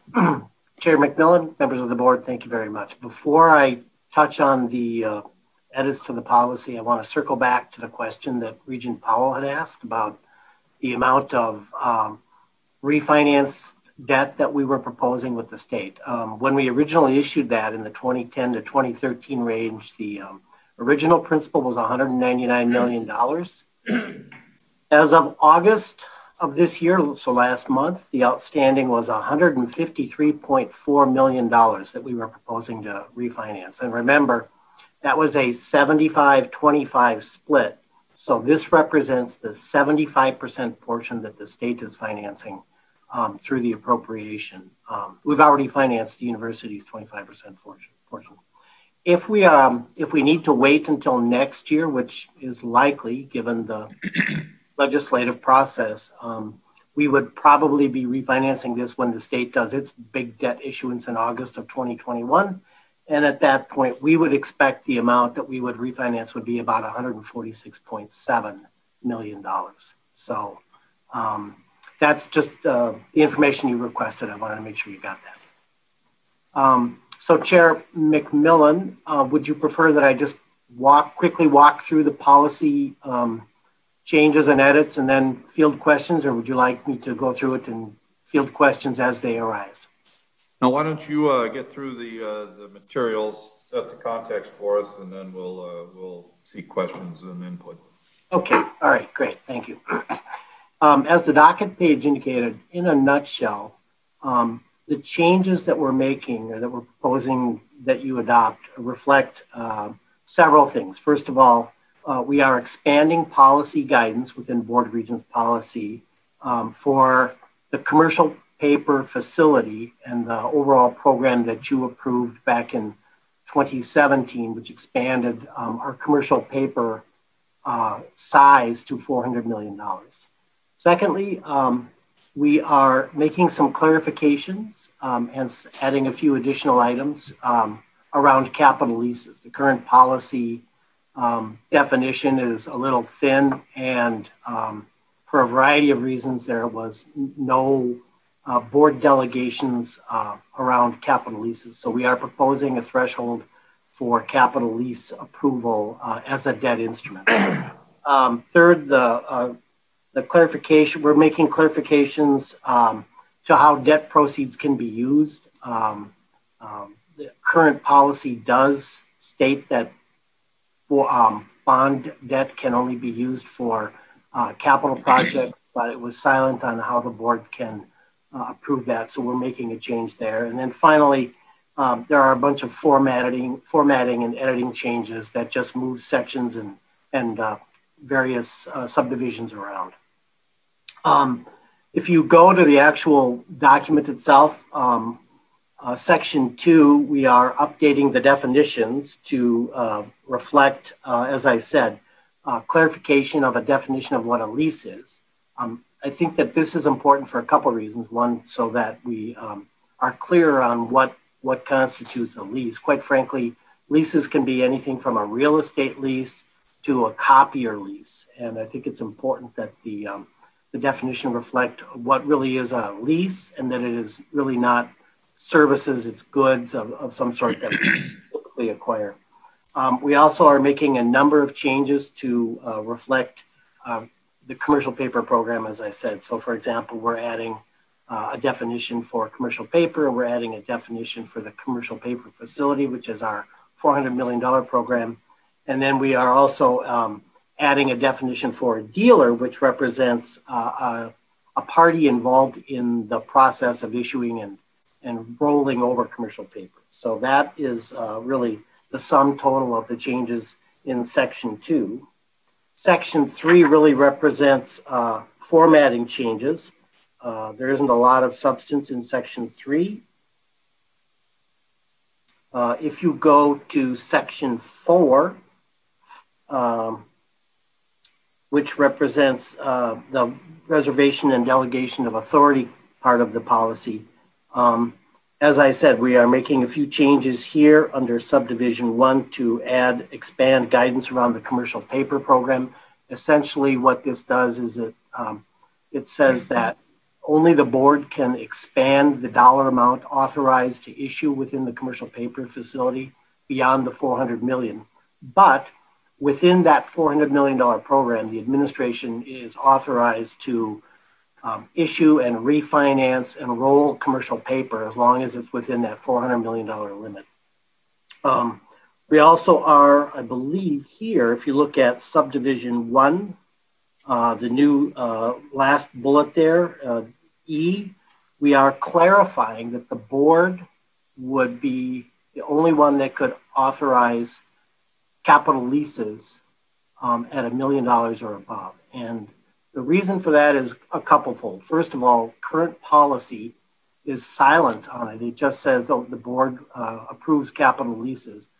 Um, in reality, as I said, there are many different flavors of capital leases for equipment, for facilities, for real estate.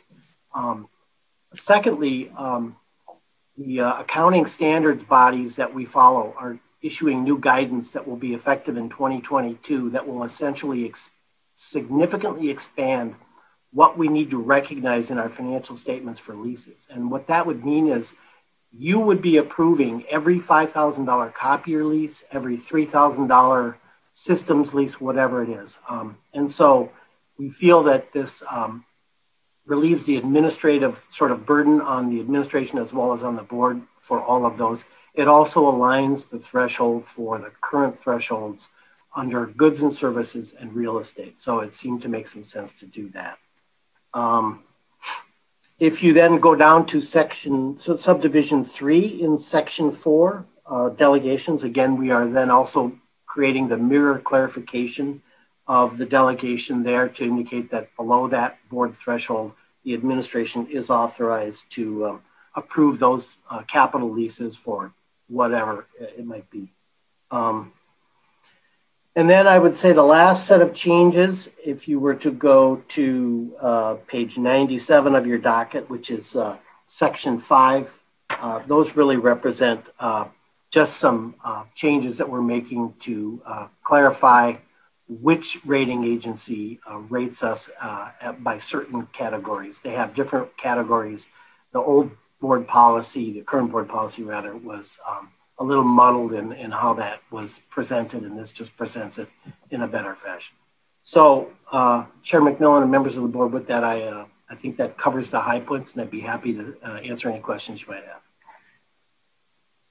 Okay, thank you uh, for that uh, excellent uh, review, and I appreciate, and I know the board does, the amount of work that goes into policy work like this. It, uh, it, it's not easy, and making sure it aligns and coordinates well, which I think this does, is is all good. And I would just remind the board that uh, you referenced uh, AVP Volna, the $400 million authorization, which I'm told was done via board resolution in 2017, and it uh, it goes a long, long time into the future. So that number doesn't appear in this in this resolution. That's done independently. But my question, before I turn to a couple of region questions here, is um, the commercial paper piece was something that uh, um, Senior Vice President Burnett talked about often. Does that still remain our cheapest source of, uh, of short-term money? I know he talked about it often as being very, very low cost. So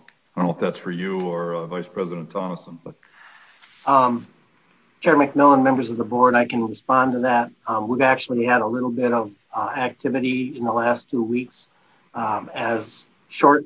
So to back up, if you understand how commercial paper works, it is a very short-term debt instrument. It's typically issued for no more than 270 days, oftentimes for 30 days, 60 days, 90 days, what have you.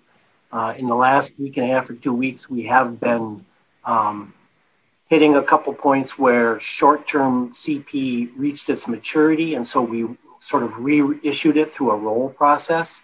We have typically been rolling those in the 17 to 20 basis point uh, range, which wow. essentially is less than a quarter of a percent interest. So imagine rolling $18 million of debt for 90 days and paying $7,000 of interest on it. That's the kind of cost of funds we are seeing right now on, on commercial paper. It is a very, very inexpensive way to finance things in the short run. Very good. Well, uh, that's amazing. And uh, it's such low cost interest, it almost makes me feel sorry for the banker in the group, which takes me to Regent Beeson.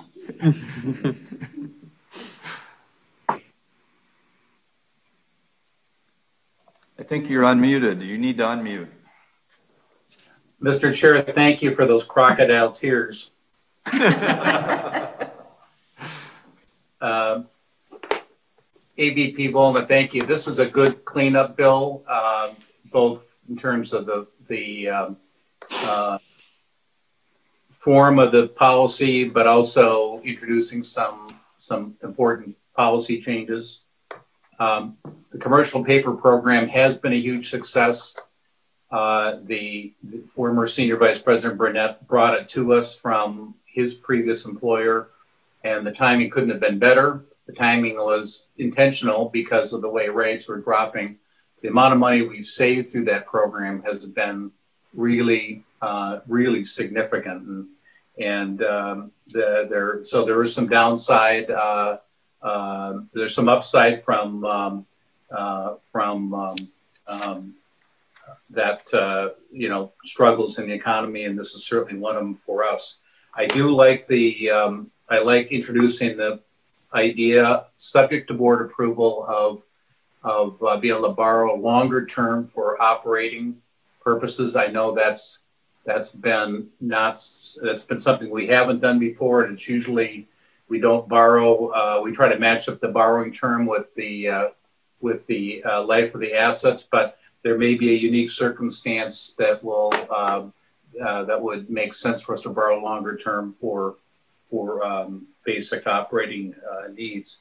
And then finally, uh, Regent Rosha and I worked now, I think, uh, two years ago on the thresholds, trying to standardize the thresholds, looking at, you know, bring them all um, fairly consistent that. So I, I do support the $1 million uh, and sort of elaboration of the the least part of the thresholds and trying to bring that into compliance with what we what we um, worked on uh, two years ago. Thank you. Thank you, Regent uh, Beeson, for those uh, perspectives. Uh, let's see, Regent uh, Hsu and then Regent Anderson, I think. Regent Hsu. Uh, thank you, Mr. Chair. Um, thank you for the presentation.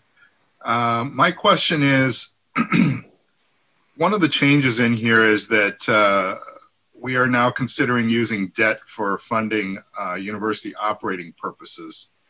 And I'm just kind of wondering wh- where that's coming from. What it, uh, what was the last, uh, or when was the last time we actually did that, if ever? And um, there doesn't seem to be any limitations on that other than what's below that. And secondly, where does the $1 million uh, limitation come from? Thank you. Uh, very good. I think that my understanding is that uh, we'll let Regent, or sorry, uh, um, AVP Volna respond, but my understanding from a governance perspective is that we're permitting in the future the administration to bring to us a uh, borrowing uh, proposal that would include the use of it for operating funds, but we're not authorizing them to do anything like that. Today, they couldn't even bring it because it wouldn't be permitted. But let's let uh, AVP Volna bring that forward and then also tackle the $1 million question. Uh, thank you, Chair McMillan, Regent Hsu, and others. Yes, um, the current policy um, has a blanket prohibition on the use of um, debt to fund operations. Now, presumably, the board could have decided to make an exception to its, pol- its policy at some point. Um, this merely sort of codifies within the policy that the board is the only one that is authorized to allow that to happen. Um, uh, as a practical ma- matter, um, I have been here since 92 and I've not recalled ever using that we've ever used debt to finance operations. Julie Tonneson may also have some perspective, or Mike Bertelsen may have some perspective on that. Um, the the reason I think it is sort of important at this point in time to be clear about this is because while I think all of us in the finance organization think that um, financing ongoing operations with debt is a bad idea, um, the reality is that you also want um, to line up um, your options and your levers, so to speak, um, to be able to address uh, unique circumstances. And I think we would all agree that right now we are in unique circumstances. Um, we, um, you, you, may recall that we previously told you we took out a, a line of credit. Um, that is certainly one way to provide emergency liquidity for operations if necessary. But as I just said, with the um, the cost of funds related to commercial paper being so low, um, to the extent that we were to need liquidity in an emergency, and to the extent that we were uh, able to do it through commercial paper, that would certainly be the lowest cost way to finance an emergency that we might need to, to provide for. So, so that's really the kind of the, I think, the background on it. At this time, we are not presenting or proposing that we do that but we want to make sure that both the administration and the board has the ability to do that if necessary. Um, with respect to the uh, question about where did the $1 million come from, um, as I said, uh, our goal was to try and make sure that um, every capital lease, as will be defined in the new Governmental Accounting Standards Board, doesn't have to go through board approval. It would be very inconsistent with how we handle other types of purchases or real estate transactions.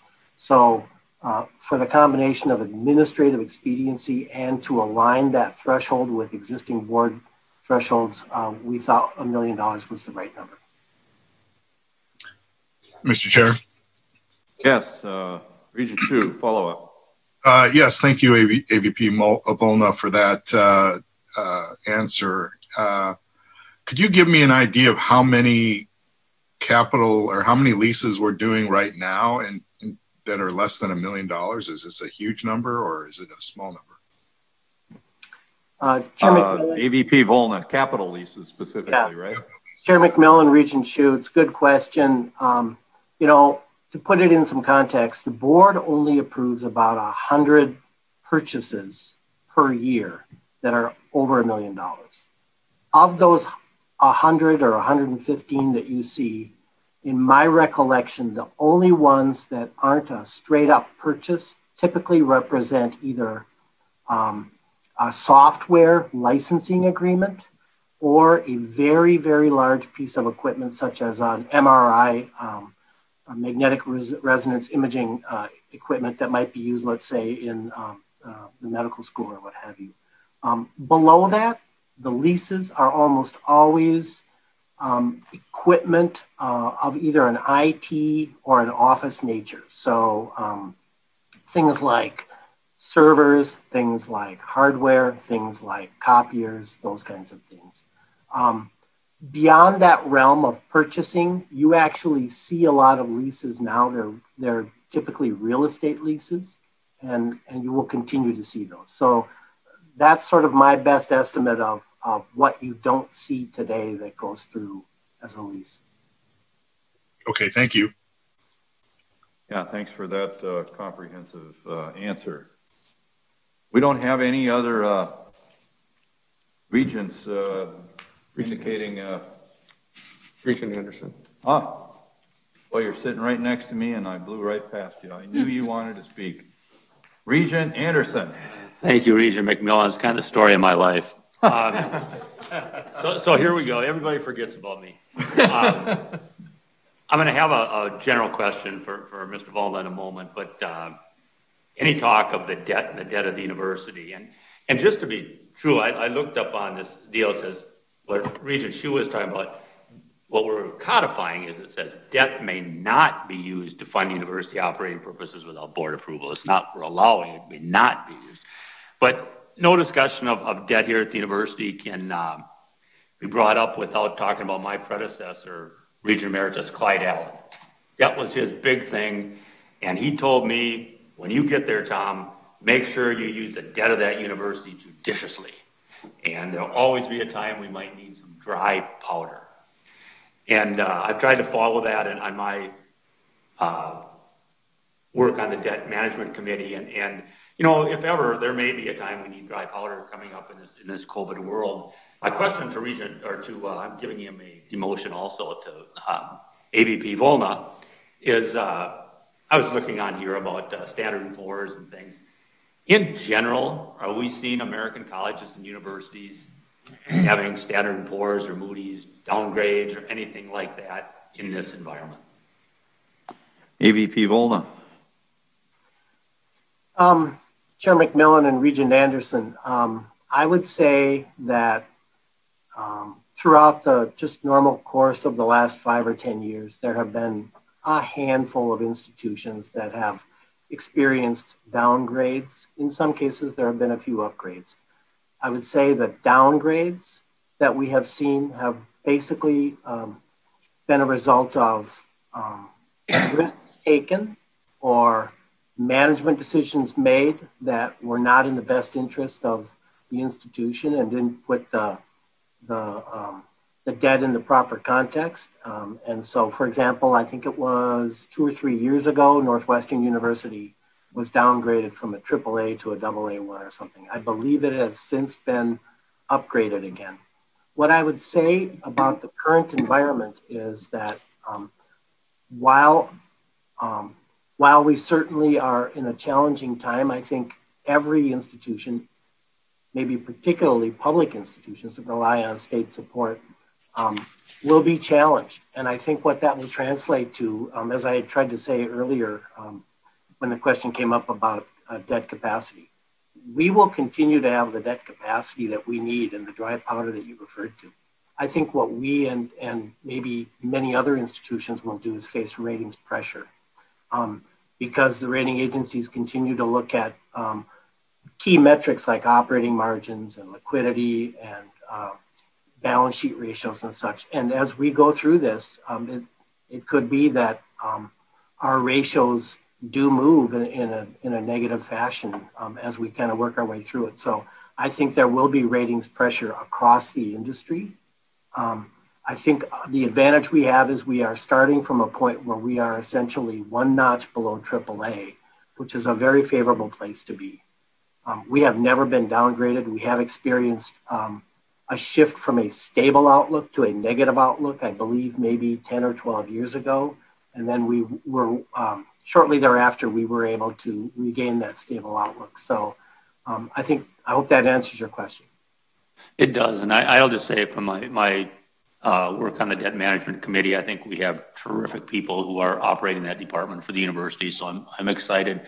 Uh, Regent McMillan, that uh, ends my comments, and you can forget about me now as long as you'd like well, thank you for uh, channeling our former colleague from uh, Moorhead, and uh, yes, I recall his insistence on, on jet judi debt judiciousness. So, um, good discussion. Thank you, uh, uh, Mr. Volna. We will be back uh, to this item for action next month.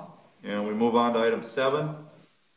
And this is a uh, this is purely what I would call a housekeeping item at this point. We are consolidating some Board of Regent policies and uh, Basically, the board has directed the Office of the Board of Regents to reduce the total number of board policies through consolidation or elimination where possible. The proposed consolidation does not change the substance of either the selection of design professionals and wage rates for contractors policies, but simply combines them into one policy given that the topics are very closely related and uh, generally interrelated. Vice President Bertelsen works in this space, and he's here to respond to any questions since his office gets to implement all this, but I don't think he has prepared remarks unless uh, someone has questions for him. Is that correct, Vice President Bertelsen? That's correct. You did a great summary. Thank you, Mr. Chair.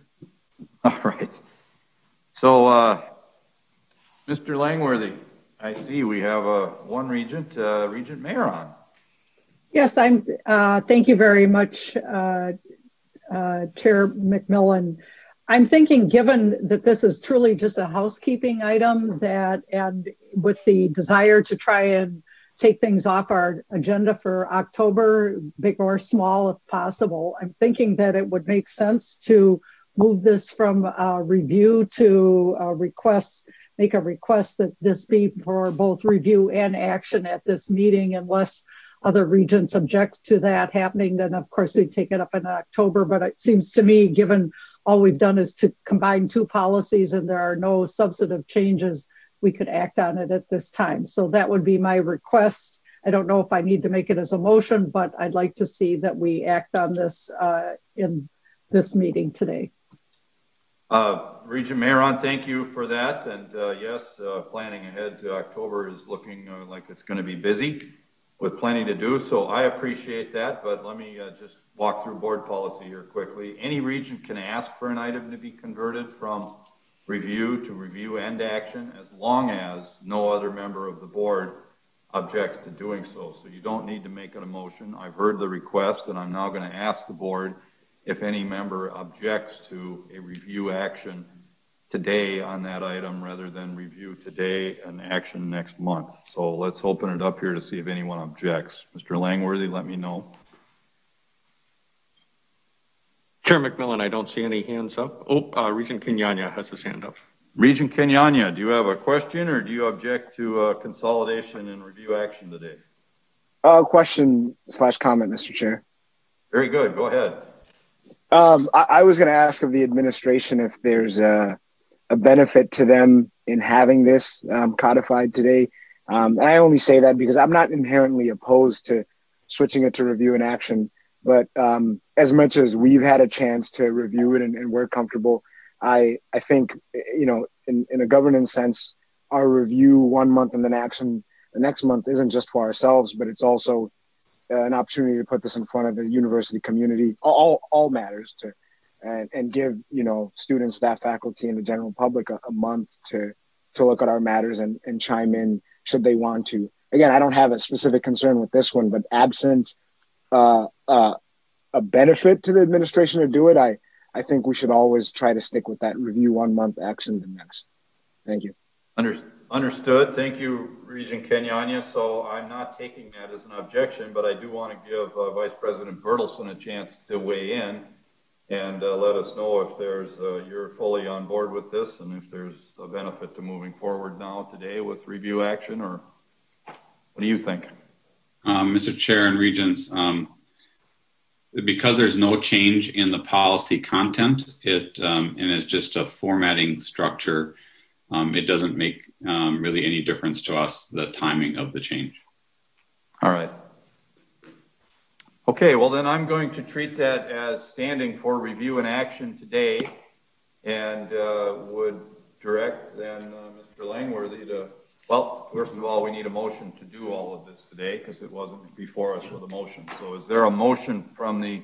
Chair McMillan, Regent I see Rosha. Regent Rosha has a hand up. Regent Rosha. Mr. Chair, I would move the resolution. Thank you, Regent Rosha. Uh, is there a second? I'll second it, Chair. Thank you, Regent Powell. So, Mr. Langworthy, would you call the roll on, uh, on item number, this is number seven on our docket?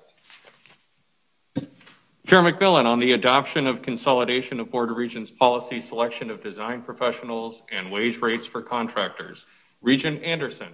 Yes. Regent Anderson votes yes. Regent Beeson. Yes. Regent Beeson votes yes. Regent Davenport. Yes. Regent Davenport votes yes. Regent Her is absent. Regent Hsu. Yes. Regent Hsu votes yes. Regent Kenyanya. Yes. Regent Kenyanya votes yes. Regent Mayeron. Yes. Regent Mayeron votes yes. Regent Powell. Yes. Regent Powell votes yes. Regent Rosha. Yes. Regent Rosha votes yes. Regent Simonson. Yes. Regent Simonson votes yes. Regent Sviggum. Yes. Regent Sviggum votes yes. Chair McMillan. Yes. Chair McMillan votes yes. Chair McMillan, there are 11 yes votes and zero no votes. Very good. By a vote of 11 to 0, the uh, motion to approve the consolidation of these policies is approved.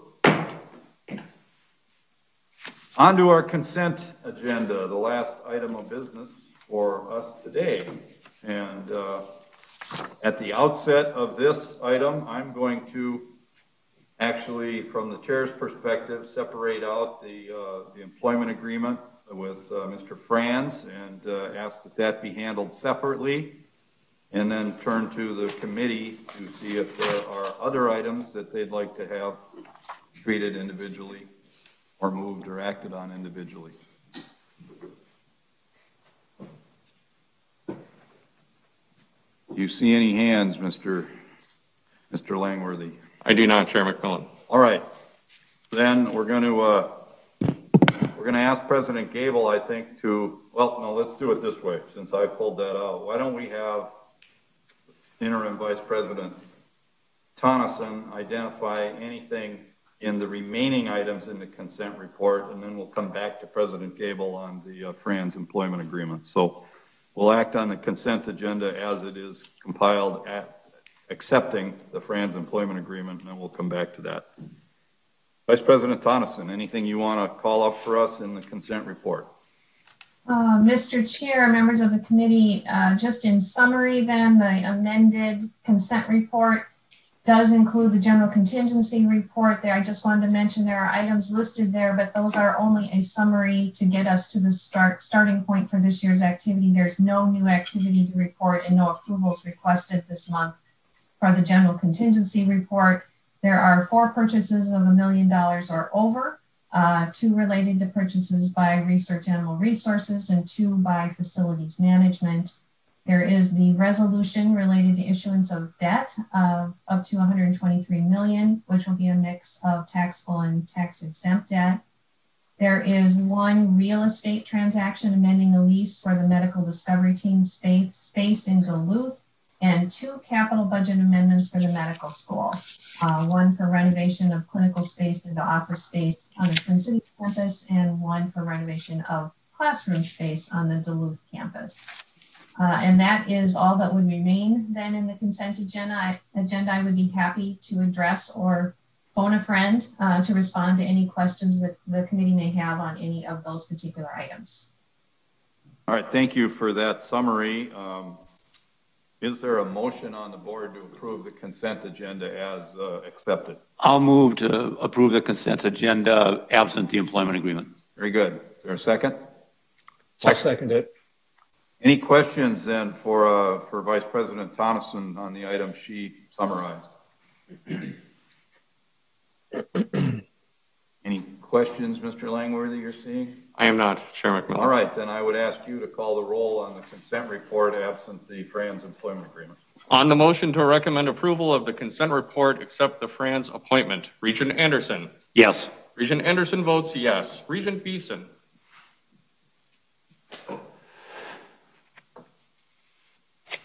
Regent Beeson. Yes. Regent Beeson votes yes. Regent Davenport is absent. Regent Her is absent. Regent Hsu. Yes. Regent Hsu votes yes. Regent Kenyanya. Yes. Regent Kenyanya votes yes. Regent Mayeron. Yes. Regent Mayeron votes yes. Regent Powell. Yes. Regent Powell votes yes. Regent Rosha. Yes. Regent Rosha votes yes. Regent Simonson. Yes. Regent Simonson votes yes. Regent Sviggum. Yes. Regent Sviggum votes yes. Chair McMillan. Yes. Chair McMillan votes yes. Regent McMillan, there are 10 yes votes, zero no votes. Very good, Mr. Langworthy. Thank you. That motion carries on a 10 to 0 vote to approve the consent agenda minus one item, which we will now turn to, and I will ask President Gabel to uh, introduce this topic, and uh, we will we will jump in. Thank you, Chair McMillan, Vice Chair Beeson, members of the committee. Today, I recommend to you the appointment of Myron Frans to the position of Senior Vice President for Finance and Operations, effective September 30th. He's a recognized leader in strategic financial management, most recently having served under Governor Tim Walz as the Commissioner of Minnesota's Management and Budget Office, or better known as MMB. In this role, he served the state of Minnesota as Chief Financial Officer, Chief Accounting Officer, Chief Human Resources Officer, and the State Controller, driving innovation and flexibility in the state's $47 billion annual budget. Myron will bring incredible experience, knowledge, and strategic stewardship to our operations system wide. We can evolve with his leadership in ways that will make us better and more innovative while also navigating some of our challenges. The Senior Vice President for Finance and Operations at the University of Minnesota is a critical leadership position, serving in three critical roles for the system it is our CFO, our COO, and our treasurer. Given the impact of the COVID 19 pandemic, no time is more important than now to have a seasoned finance leader like Myron as part of our leadership team. His service to the state of Minnesota will be instrumental to our success, and his ability to advise me and this board on the financial future of the University of Minnesota is unparalleled. Myron will receive an annual base salary of 399,000, which will be then immediately subject to the current 10% pay reduction taken by members of the President's Cabinet. It is also approximately 6% less than the current base salary that Brian Burnett was earning. Myron will also receive deferred compensation payments, but we have deferred that deferred compensation out by two years in light of the financial challenges facing the university. Looking forward to June 2022, Myron's total compensation, base salary plus deferred compensation, will still be less than Brian Burnett's current compensation as SVP would have been at that time. Members of the committee, per Board of Regents policy, employee compensation and recognition, the university strives to achieve and maintain a compensation structure that, when combined with benefits and other rewards, is competitive to our peers and serves to attract and retain high performance workforce. In the setting of initial salaries and subsequent pay adjustments, the university considers the work responsibilities, the market of our peers, internal equity, experience and expertise, performance, and other criteria as appropriate. The Office of Human Resources reports to the board annually the CUPA salary survey data for senior leader positions amongst our peers. Based on this market data, Myron's base salary is $9,000 below the 50th percentile. I want to take this moment to thank Brian Burnett, our outgoing Senior Vice President, for his service, his passion, and his commitment to the university. We're very grateful that Brian will be serving as an advisor to me through March 2nd, 2021. And my special thanks to Julie Tonneson for agreeing to serve as interim Senior Vice President until September 30th. Thank you, Mr. Chair. Very good. Thank you, uh, President Gabel. So I would, uh, first of all, seek a motion to approve this, and then we can, uh, we can discuss it. So, So, Very good. It's moved. Is there a second? Second. Moved and seconded. All right, I'd open it up now to uh, board members for uh, comments, questions, and uh, and otherwise. Use the raised hands feature or wave uh, wave violin at me. Okay. Regent Rosha. Thank you, Mr. Chair, um, and I, I, appreciate the President Gabel's uh, introduction to the topic. Um, I, think, like many members of the board, I was surprised by the announcement of, of this uh, the appointment. Obviously, this is important. It's one of the top three positions at the university, um, and it, it, came a bit out of the blue, um, even from a regent's perspective. And I, am not I'm not clear on what the community uh, consultation was, and, and and that's that's relevant only to the extent that you know we should recall this moment when we have conversations about um, shared governance and, and searches and, um, and, and, retentions of this variety. Um, bit of a side topic, but you know, I laid out my concerns to um, the, the, the, board in an email earlier this week, um, and I, I, hope you received that. Uh, my, my concerns in this matter are not at all a, a criticism of Commissioner Frans. I think uh, President Gabel laid out uh, very well um, the remarkable experience and, and capacity that um, uh, Commissioner Frans brings to this uh, position. Uh, my past experience as a regent during um, the service of Gus Donhowe, um, Senior Vice President, with similar credentials and, and experience uh, gives me great optimism uh, about the potential effectiveness of soon to be Senior Vice President Frans. But the, the painful distinction for me in this transition between Commissioner Donhowe's experience and Commissioner Frans you know, il- illustrates a higher ed market that's you know really out of control. Um, boards like ours are in the position to address these issues, but um, for a number of years they, they have not stepped forward to do that. Uh, it's important to note that when Senior Vice President Donhowe came over as Commissioner of Finance, he received a modest increase in his compensation uh, when he joined the university compared to his commissioner position with the state. And what's been presented to us in, in finished form, what's before us today, is with the eventual deferred uh, compensation of you know nearly $480,000 a year, which uh, um, includes the deferred when it when it does vest. Currently, as a commissioner, uh, the candidate is paid just shy of $155,000. Uh, this university contract represents a salary of 300% of his current compensation, despite position at the state, um, overseeing a budget roughly 10 times the U of M budget and with more employees. Um, now, this is a pretty clear example, and I think to some extent for some folks may be held up as an example of the problem with higher ed costs today. Um, when you have the same person performing uh, a larger job, moving to another position just down the road um, and receiving a, a raise of, of, of over 200%. And there's really no logical basis to do that, um, that dramatic increase, beside claiming that based on these reports, everybody else is doing it. And it's really an indefensible transfer um, from students, oftentimes through debt, um, to uh, to the administration. Now, you know, how do we, um, as an institution facing unprecedented fiscal challenges, justify doing this? Uh, we we are going to ask for support from the state and federal government to make it through this. We'll ask students to pay fully for educational opportunities with a clear diminution in, in their experience. And we'll be asking specific units in the university and departments uh, to make severe sacrifices, and many employees making a small fraction of this compensation package will be completely out of work. Now, not having been consulted or informed in advance about this uh, transition or the compensation package for the senior vice president, I, I regret that the email that I sent last week and to which I did not receive a response. In this meeting right now are the only opportunities I have to raise these concerns.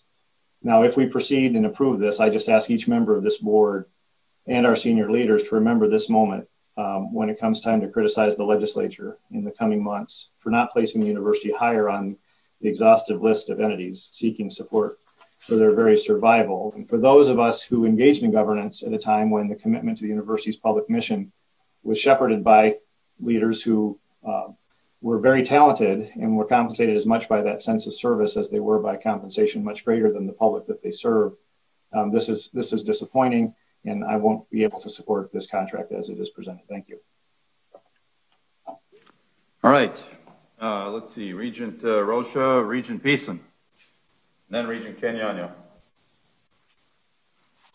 Thank you. Uh, thank you, Mr. Chair. Um, you know, I would urge uh, all of us to take the take the the the um, the large view on this. We do recruit nationally, and we should. We do recruit from all the sectors, including the private sector and the public sector, and we should. And I think as an institution, we can only have one compensation philosophy. It's really doesn't work to carve out positions um, uh, based on what somebody's last employment um, agreement um, uh, resulted uh, resulted in. It just that is really unworkable. Our philosophy has been, and I think it's served the university well, is look at the marketplace, look at the marketplace, and in this case, we have an eminently qualified candidate who could easily command this kind of money, likely more money if he chose to go back into the business world, which is where he was successful for 20 years. The fact that he took a time out uh, for a number of years to provide public service, um, you know, what, it was is great, but um, you know, we're now competing for his services uh, with businesses, and uh, I think we're getting great value. And I would urge us to stay with uh, with the plan that we've get we have. We are, as a whole, we're well within uh, the marketplace. In fact, among the senior leaders, we're below the we're, we're below the median, and there is really nothing more important than hiring senior people and getting them right.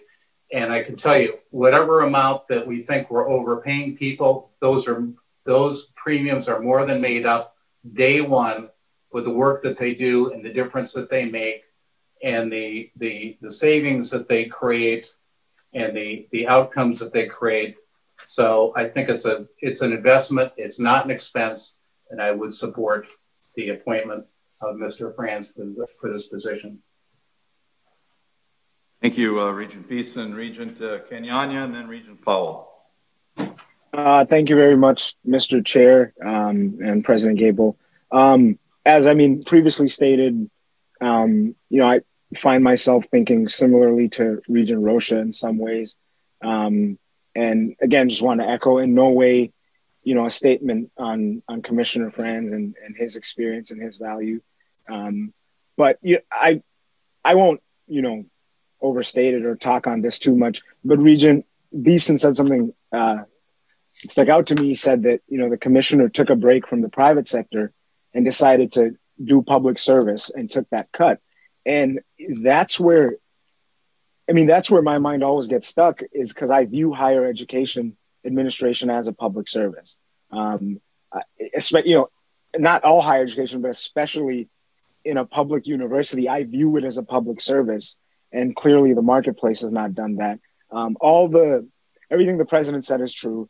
Um, the, the, where our administrators fall and the percentages and all that. But that's all true if we accept that the marketplace says what it should be.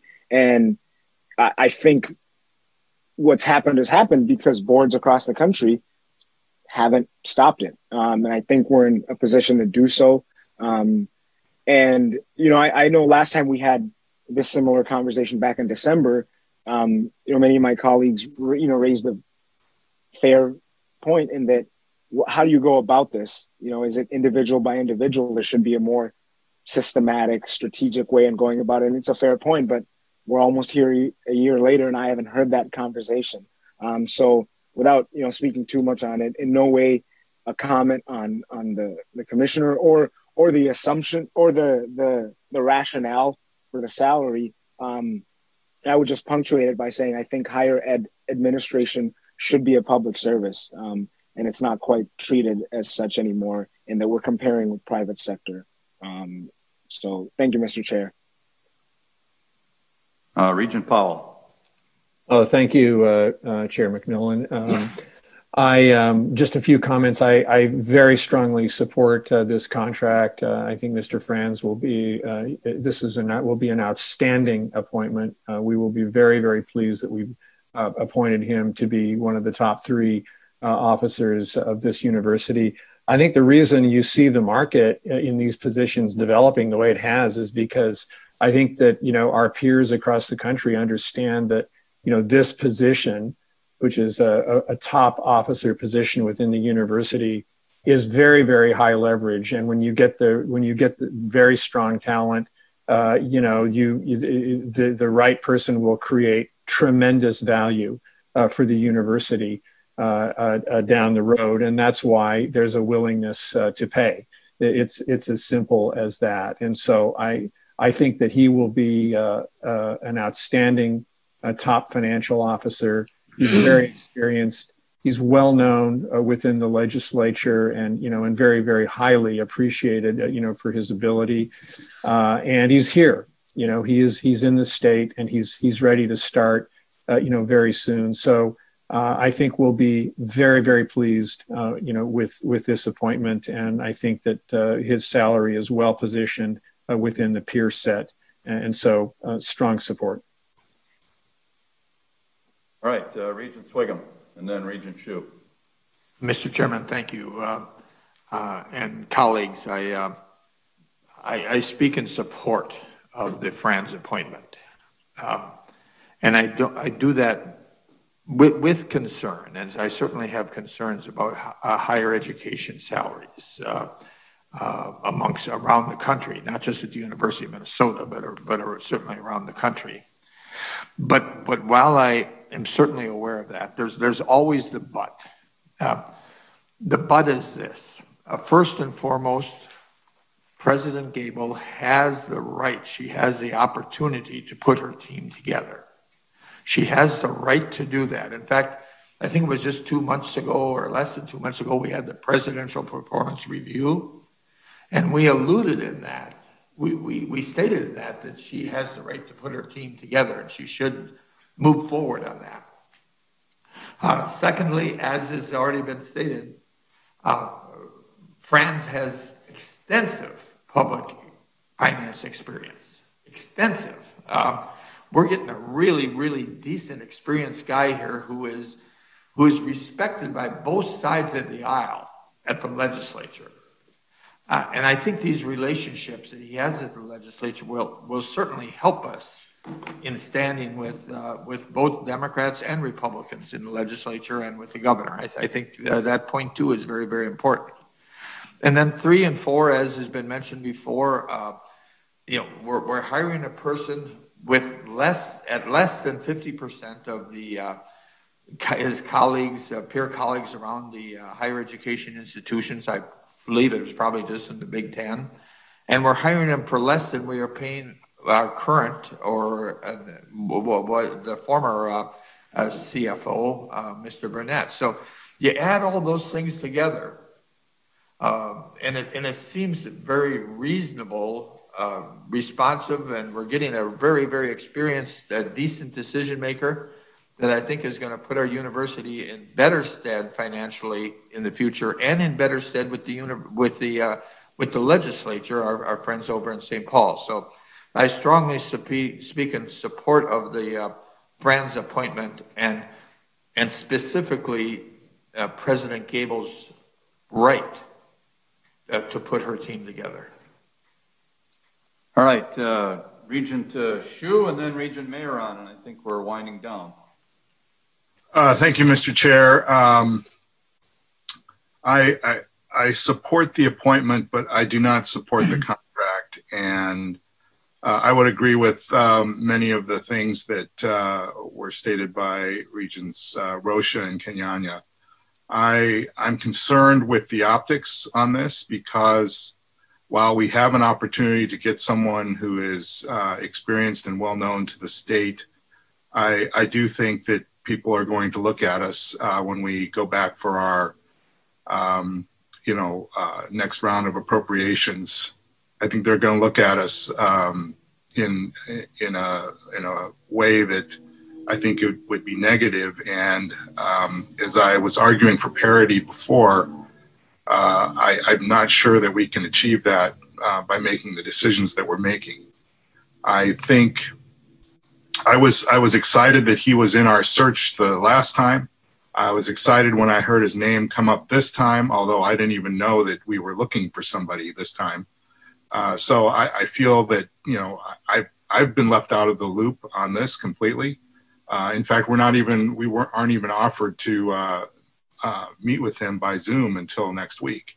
So you know I can't support the contract, but I, I do support the appointment. I hope he does good work and um, look forward to hearing more about that. Thank you. Regent Mayeron. Thank you. I think that Regent Beeson uh, laid out for me the arguments why I will support this uh, appointment. And, I think that, let me just say, I think everyone agrees that substantively, uh, uh Myron Frans is an excellent candidate for this position. And what we're talking about is his compensation package. I believe that, uh, again, as stated by Regent Beeson, that we need a philosophy of compensation that governs all positions and doesn't cherry pick particular positions. And I think that that's what would be happening if we did this here.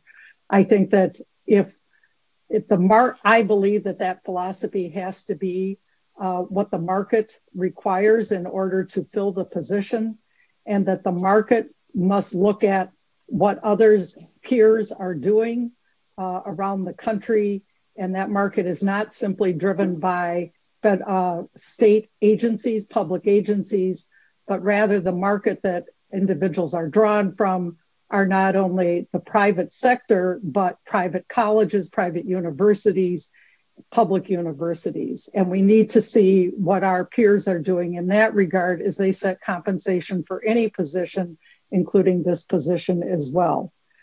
So while I certainly can appreciate that Mr. Frans makes substantially less uh, working for the state government in his offering his services for public service, and I certainly understand Regent Kenyanya's view that anybody who works for a public institution is also serving the public. That is true.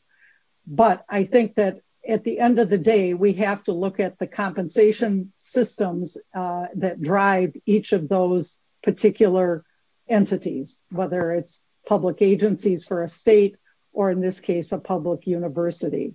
And the fact of the matter is that a public university draws from a different, a pool of candidates who can command salaries that are substantially more than others in other parts of the uh, uh, state agency system, such as for the state of Minnesota.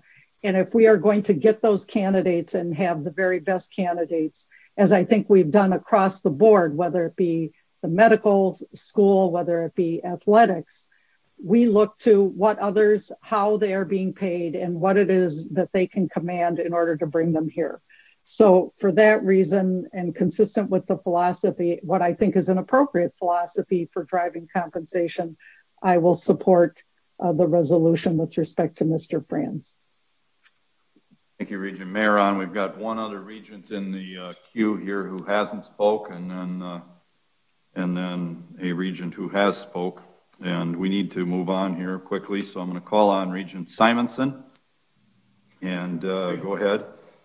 Uh, thank you, Chair. Uh, um, it's interesting. I, I, certainly support the candidate, but I do struggle with some of the issues that Regent Rosha and Kenyanya, Regent Kenyanya brought up, especially concerning watching the budget stuff. I'm just wondering, did this come up, uh, President Gabel, did this come up in discussions before taking the offer? Uh, looking at this thing as a, uh, I understand everything that was said, but did it come up before?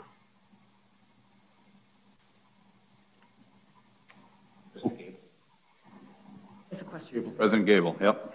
Uh, Mr. Chair, um, Regent Simonson, uh, we had a robust negotiation over his salary. As you can see, it's a structured arrangement that reflects a lot of conversations. I'm not sure um, which component you're asking about having come up before. Well, the, the, Regent Simonson. Basically, thank you, Chair. Basically, what Regent Rosha pointed out you know, 300% or whether whatever increase. I understand competition. I deal with it in private business all the time. And and appreciate that. And going, again, not a question on the candidate at all, but looking at our overall policy and, and what was on, like uh, Regent Kenyanya said, public service, all that stuff. Um, no thoughts on that? Huh? President Gabel.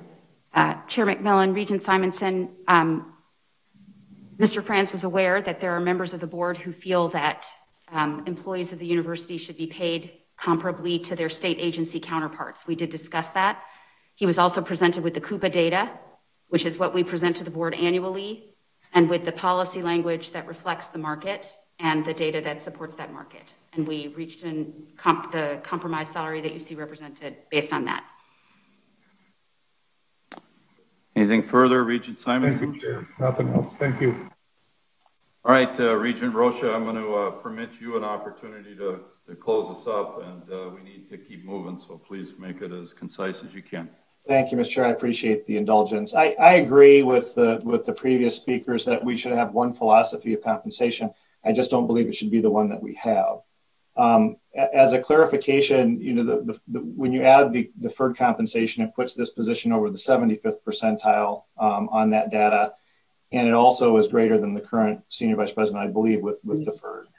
But nonetheless, it, it's you know, I understand that that individuals could command greater compensation at other opportunities. I would point out that as regents, uh, we would command greater compensation mowing lawns or running a lemonade stand. We do this as a public service. We are not paid. Uh, Regent Sviggum may be throwing bales, um, uh, but uh, you know, so so this is a group that you know because we are not compensated by finances, we don't have a mooring point to understand that value, and I think that's a challenge and something that the state probably ought to take a look at. But you know, I, I just I'll close with this. You know, we understood the same issue. We understood that there was the same competition for this talent, you know, 30 years ago. Um, and yet we still continued to attract top talent that put the university on the course that it's on right now. Uh, Senior Vice President Donhowe is as talented as anybody you would have found in the private sector or the public sector, and he did amazing work for the university during his relatively short tenure here.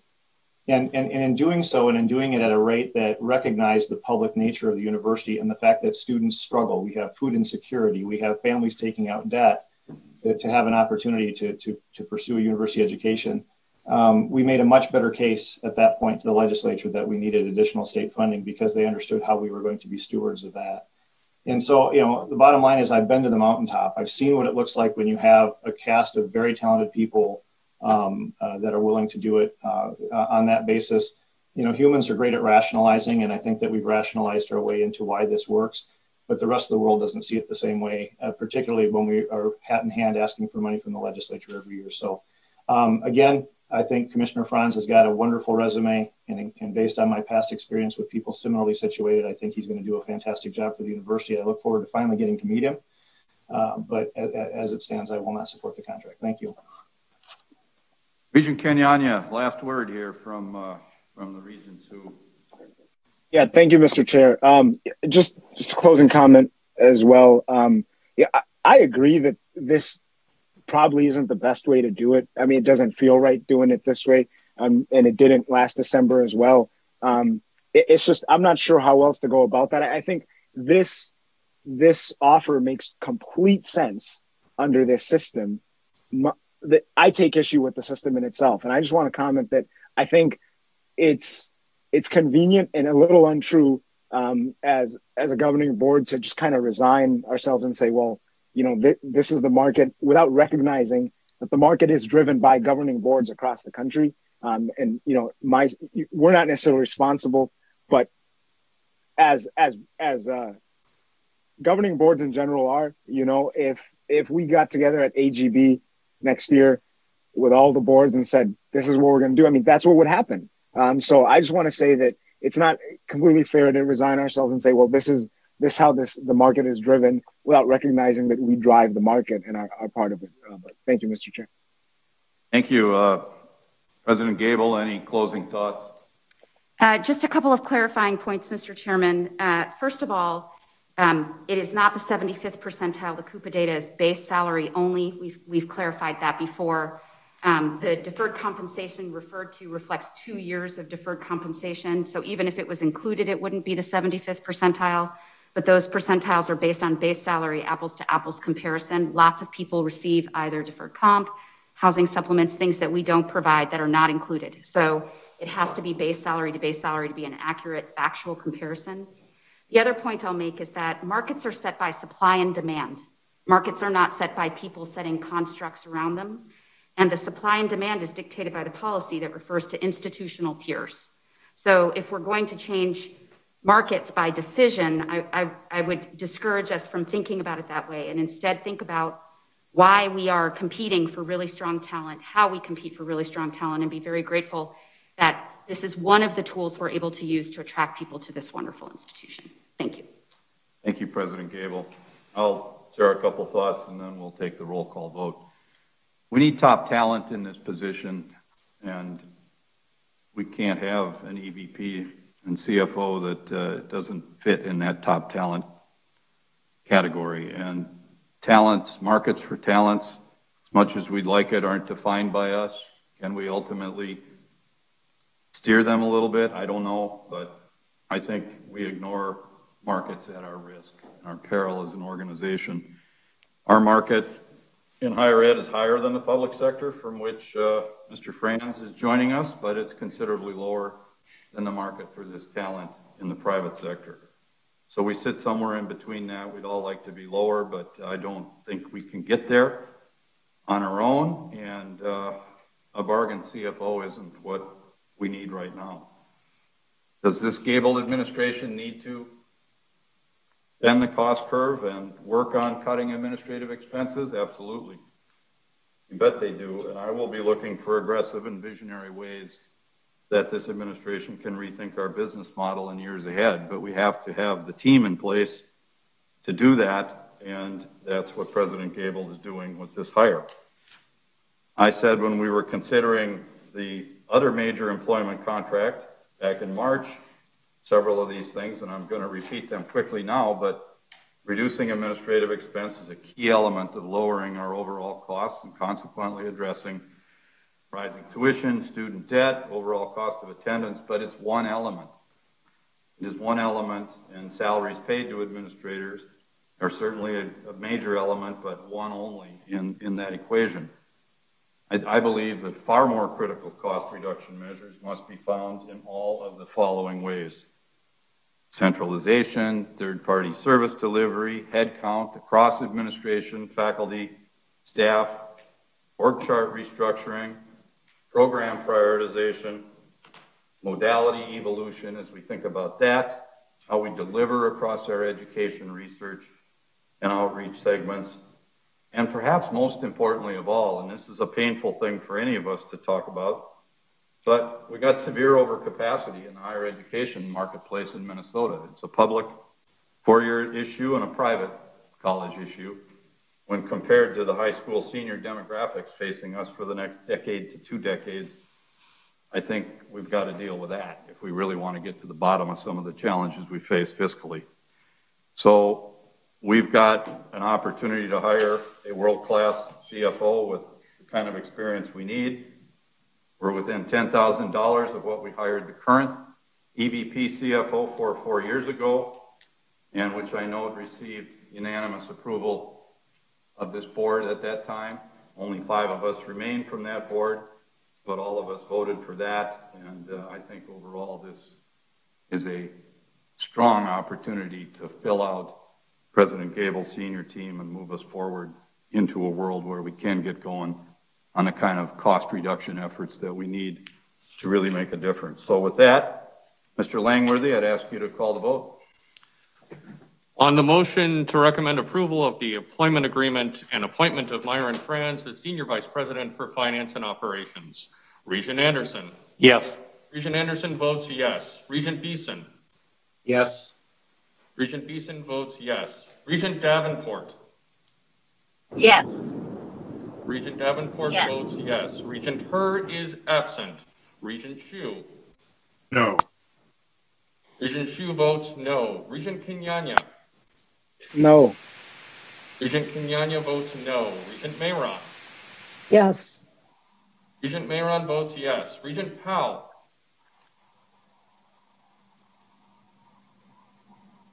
Regent Powell.